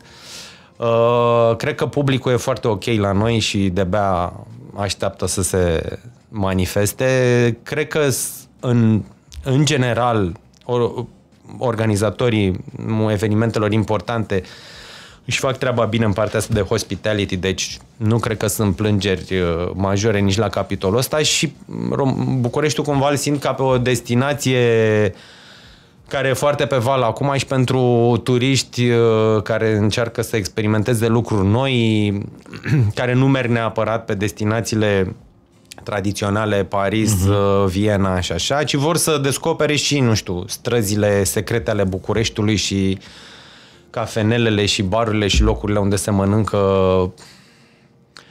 tacos și lucruri de astea. Adică cred că e un oraș destul de efervescent și care atrage mulți oameni. Am fost surprins și în Brașov câți, câți străini erau și câți tineri și cât de mult s-a schimbat, știi, peisajul ăsta. Dar vin turiști străini la Summerwell? Vin, în general vin de la vecini, vin mulți din Bulgaria, uh-huh.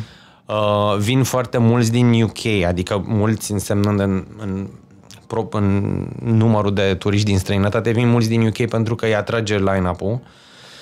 Dar știu oameni, am, noi am avut prieteni care au venit din Ungaria și oameni care, spre exemplu, lucrează și au construiesc activări în cadrul unui festival foarte important de acolo, uh-huh. care este Siget. Uh, festival și care au venit aici și sau adică au plecat de aici absolut încântați și au revenit în fiecare an și deci iar pentru englezi este ceva ce n-au mai văzut, pentru că englezii sunt obișnuiți cu evenimente la care lumea în general are un comportament diferit. Uh, lumea bea mai mult ca uh-huh. oamenii care vin la Samorel uh, deci e un pic mai răzvrătită, da? Iar aici când văd publicul ăsta de Samorel care este uh, foarte atent la detalii, la cum se îmbracă, la cum se poartă, la cum vorbesc cu toată lumea foarte civilizată și dar în același timp care o ia razna la concerte, pentru ei e așa, o, zici că e ceva ce n-au, n-au mai întâlnit în viața lor și probabil că așa e. Știi? Adică sunt foarte, foarte impresionați de mixul ăsta de festival de muzică la care lumea nu se îmbată foarte rău, nu se bate. E civilizată. Da. Da. Culmea. Și da, pentru engleză e ceva nemai da, întâlnit. bine, și pentru englezi întotdeauna o să fie acest miraj al prețurilor, că ei dau 6-7 lire pe o bere la festival, iar aici costă o liră sau două. Fii atent, uh, John, pe, pe final, uh, să încercăm să facem așa o hartă a, a festivalului, să ne alegem o zi, nu știu când cântă Chin. Chin cântă duminica. Duminică. O zi de duminică. Uh-huh. Un, tu să ne fii ghid în festival și să spui, uh-huh. băi, veniți, uh, dați cu brățările la intrare la ora uh-huh. nu știu care și după care faceți asta, asta, asta și terminați cu chin, după care plecați acasă. Ah, păi stai că vă țin deci, atunci. Foarte un pic vă țin în, mult. Da. Care e recomandarea ta ca organizator al, al Summerwell? Cum să-ți Uite, petreci ce- o zi la Bine, îți Summerwell spun ce aș face eu 2024? duminică dacă n-aș lucra la Summerwell, da? Dar știind tot ce știu despre Summerwell, dar să să nu trebuia să lucrez, să am o dublură care să facă treaba pe care trebuie să o fac eu. Eu aș veni, aș pleca din București undeva la 4. Aș ajunge probabil în jur de 5, aș intra în festival, m-aș duce și aș da un tur complet, aș începe cu alea principală care duce spre main stage, aș traversa-o prin spate, aș traversa pe podul plutitor, aș merge pe partea cealaltă a lacului, aș încerca să-mi fac cumva harta, pentru că pe lângă cele trei scene pe care le știe lumea de anul trecut, o să avem două scene noi, două proiecte noi pe care o să le avem anul ăsta, care sunt niște chestii foarte interesante. Una dintre ele se numește Electropunk Club, cealaltă se numește Instrumental. Da? Deci, practic, două scene unde o să se întâmple lucruri, dar e nu numai muzică, e și parte de decor și sunt niște găstelnițe tehnologice acolo, wow. Um, deci, cumva, aș da o tură completă și mi-aș face harta scenelor și a lucrurilor care îmi plac. Uh, o să fie multe... Știu că asta de obicei, unii, unii dintre oamenii care merg la festivalul percep activările de brand ca fiind o chestie care mai degrabă îi agasează decât îi încântă. Dar cumva am observat că și partenerii care sunt alături de noi an de an, cumva au început să adapteze și cu mare succes, ai spune, o mare parte dintre ei, felul în care se prezintă la festival și nu mai aleg, eu știu, niște variante care sunt foarte la îndemână sau la, la prima mână, de fapt. Și atunci încep să vină cu lucruri din ce în ce mai interesante și lumea chiar participă activ la chestia asta și se duce și face o tură de zone și m, marchează mental lo- locurile la care vrea să ajungă. Deci ce aș face? Aș da de la 5 la 6, mi-aș pl- rezerva o oră să dau o tură și să văd exact, să înțeleg uh, ce pe unde e. După care la... Au făcut poze cu tot, tot, tot? Da, cu tot ce e așa. După care la 6 aș face de la 6 la 6 jumate un popaz de mâncat undeva la un, unul dintre food courturi. Și acolo trebuie făcut o inspecție înainte, un, un uh, tur. Uh, și probabil undeva în jur de șase jumate m-aș duce... Pentru mine e foarte important să prind când intră pe scenă prima trupă din fiecare zi la main stage în mod particular. Adică e un moment în care se dă, se dă, nu știu, startul zilei într-un fel și vezi lumea cum vine de peste tot, începe să curgă din pădure și să se adune în fața scenei și e foarte, foarte tare. Mm-hmm. Adică nu e încă foarte aglomerat, dar e, e pentru mine, nu, nu ratez niciun început de zi la main stage. Deci aș face chestia asta, aș vedea când începe prima trupă și m-aș duce acolo. După care, cu siguranță, aș traversa lacul undeva în jur de 8, pentru că atunci e golden hour și lumina de la scena Sunset, cum o denumim anul ăsta, deci care per, pe partea cealaltă a lacului, în zona capelei, e o lumină absolut specială acolo și încep și concertele uh, pe scena aia. și cumva la ora aia festivalul începe să se aprindă. După aia n-aș rata sub headlinerul și headlinerul de duminică, adică Tudor Cinema Club și Kin. Și după aia mi-aș mai rezerva cel puțin 3 ore de descoperit ce se întâmplă noaptea în domeniul știrbei, pentru că anul ăsta se vor întâmpla mult mai multe. Adică vor fi mai multe zone în care să stai mai târziu. Uh, niște petreceri ascunse, niște tot felul de ascunzișuri de astea prin, prin domeniu care fiecare o să aibă o, o particularitate. Fiecare o să vorbească mai mult unui tip de public interesat. De unele o să fie mai chill, altele o să fie pe super dans și energie și așa. Deci cred că lumea care rămâne și după partea asta de, de show de headliner o să descopere mult, mult mai multe lucruri. Da, și probabil că în jur de 3 aș începe să mă gândesc la plecatul acasă. Dacă am ajuns deja la 5, sunt, sunt suficiente ore. Da. În luni nu se lucrează, de fapt. Putem să stăm și mai mult. Corect, că luni este Sfânta, Sfânta Maria. Maria. Uh, oricum, toate astea vor fi marcate pe harta sigur, festivalului, sigur, și în, în aplicație. aplicație. E foarte important că în aplicație ai și update-uri și programul scenelor și programul, nu știu, harta food court-urilor, deci ai toată informația asta care să fie la îndemână. Beton. John, te las să, să muncești, mai sunt, uh, de când înregistrăm noi, uh, trei săptămâni până la, uh, până la festival. Sper să fi, nu știu, să-i fi făcut pe niște oameni care nu visau vreodată că se pot duce la mijlocul lui august, lângă București, să dea o tură până acolo, pentru că o să vină cu siguranță și anul viitor și vă zic, indiferent de ce artiști prindeți sau nu, starea aia, oamenii aia pe care, cu care mă întâlniți acolo, o să vreți să-i vedeți și anul viitor. Repet, și nu e un clișeu, ca într-o Românie în care ai vrea să trăiești și îți pare rău că durează doar trei zile. Ce carte o să citești după festival? Că la muzică bă, nu, nu te întreb, că bănuiesc că ai un playlist uh, și personal și profesional foarte, foarte vast și nu o, să, nu, nu o să vrei să asculți muzică după festival. Uite, mă inspiră că văd la tine o biografie de-a lui Bowie, am citit multe cărți, sunt pentru mine unul dintre marii eroi muzicali ai uh-huh. acestei planete, dar am primit o carte, o biografie pe care n-am apucat să o citesc și cred că după festival o să-mi fac uh, timp în sfârșit să mă apuc de ea. Pe cine admiri, apropo de biografii? Ha, eu sunt mare muzical. consumator de biografii. Pe cine admir? Pentru mine Bowie, David Bowie, pentru mine personal e, cred că cel mai aproape de ideea mea de Dumnezeu. Adică este un personaj pe care evident nu l-am cunoscut sau ceva, dar care m-a inspirat și prin muzică și prin prezența lui așa de la distanță și chiar am avut o singura tentativă a mea și singura Singurul impuls de stalker l-am avut când am ajuns la New York, pentru că mi-am dat seama că hotelul la care stăteam era pe strada pe care stătea Bowie, încă trăia pe vremea aia, se întâmpla în 2013. Și m-am dus la parter unde citisem pe net că își mai coboare el și își mai ia câte o cafea, câte un sandwich și am stat acolo câteva ore, am stat, am stat ca un câine la o masă și din când în când m-am dus la vânzătoarele alea și le-am întrebat, dar mai vine ieri?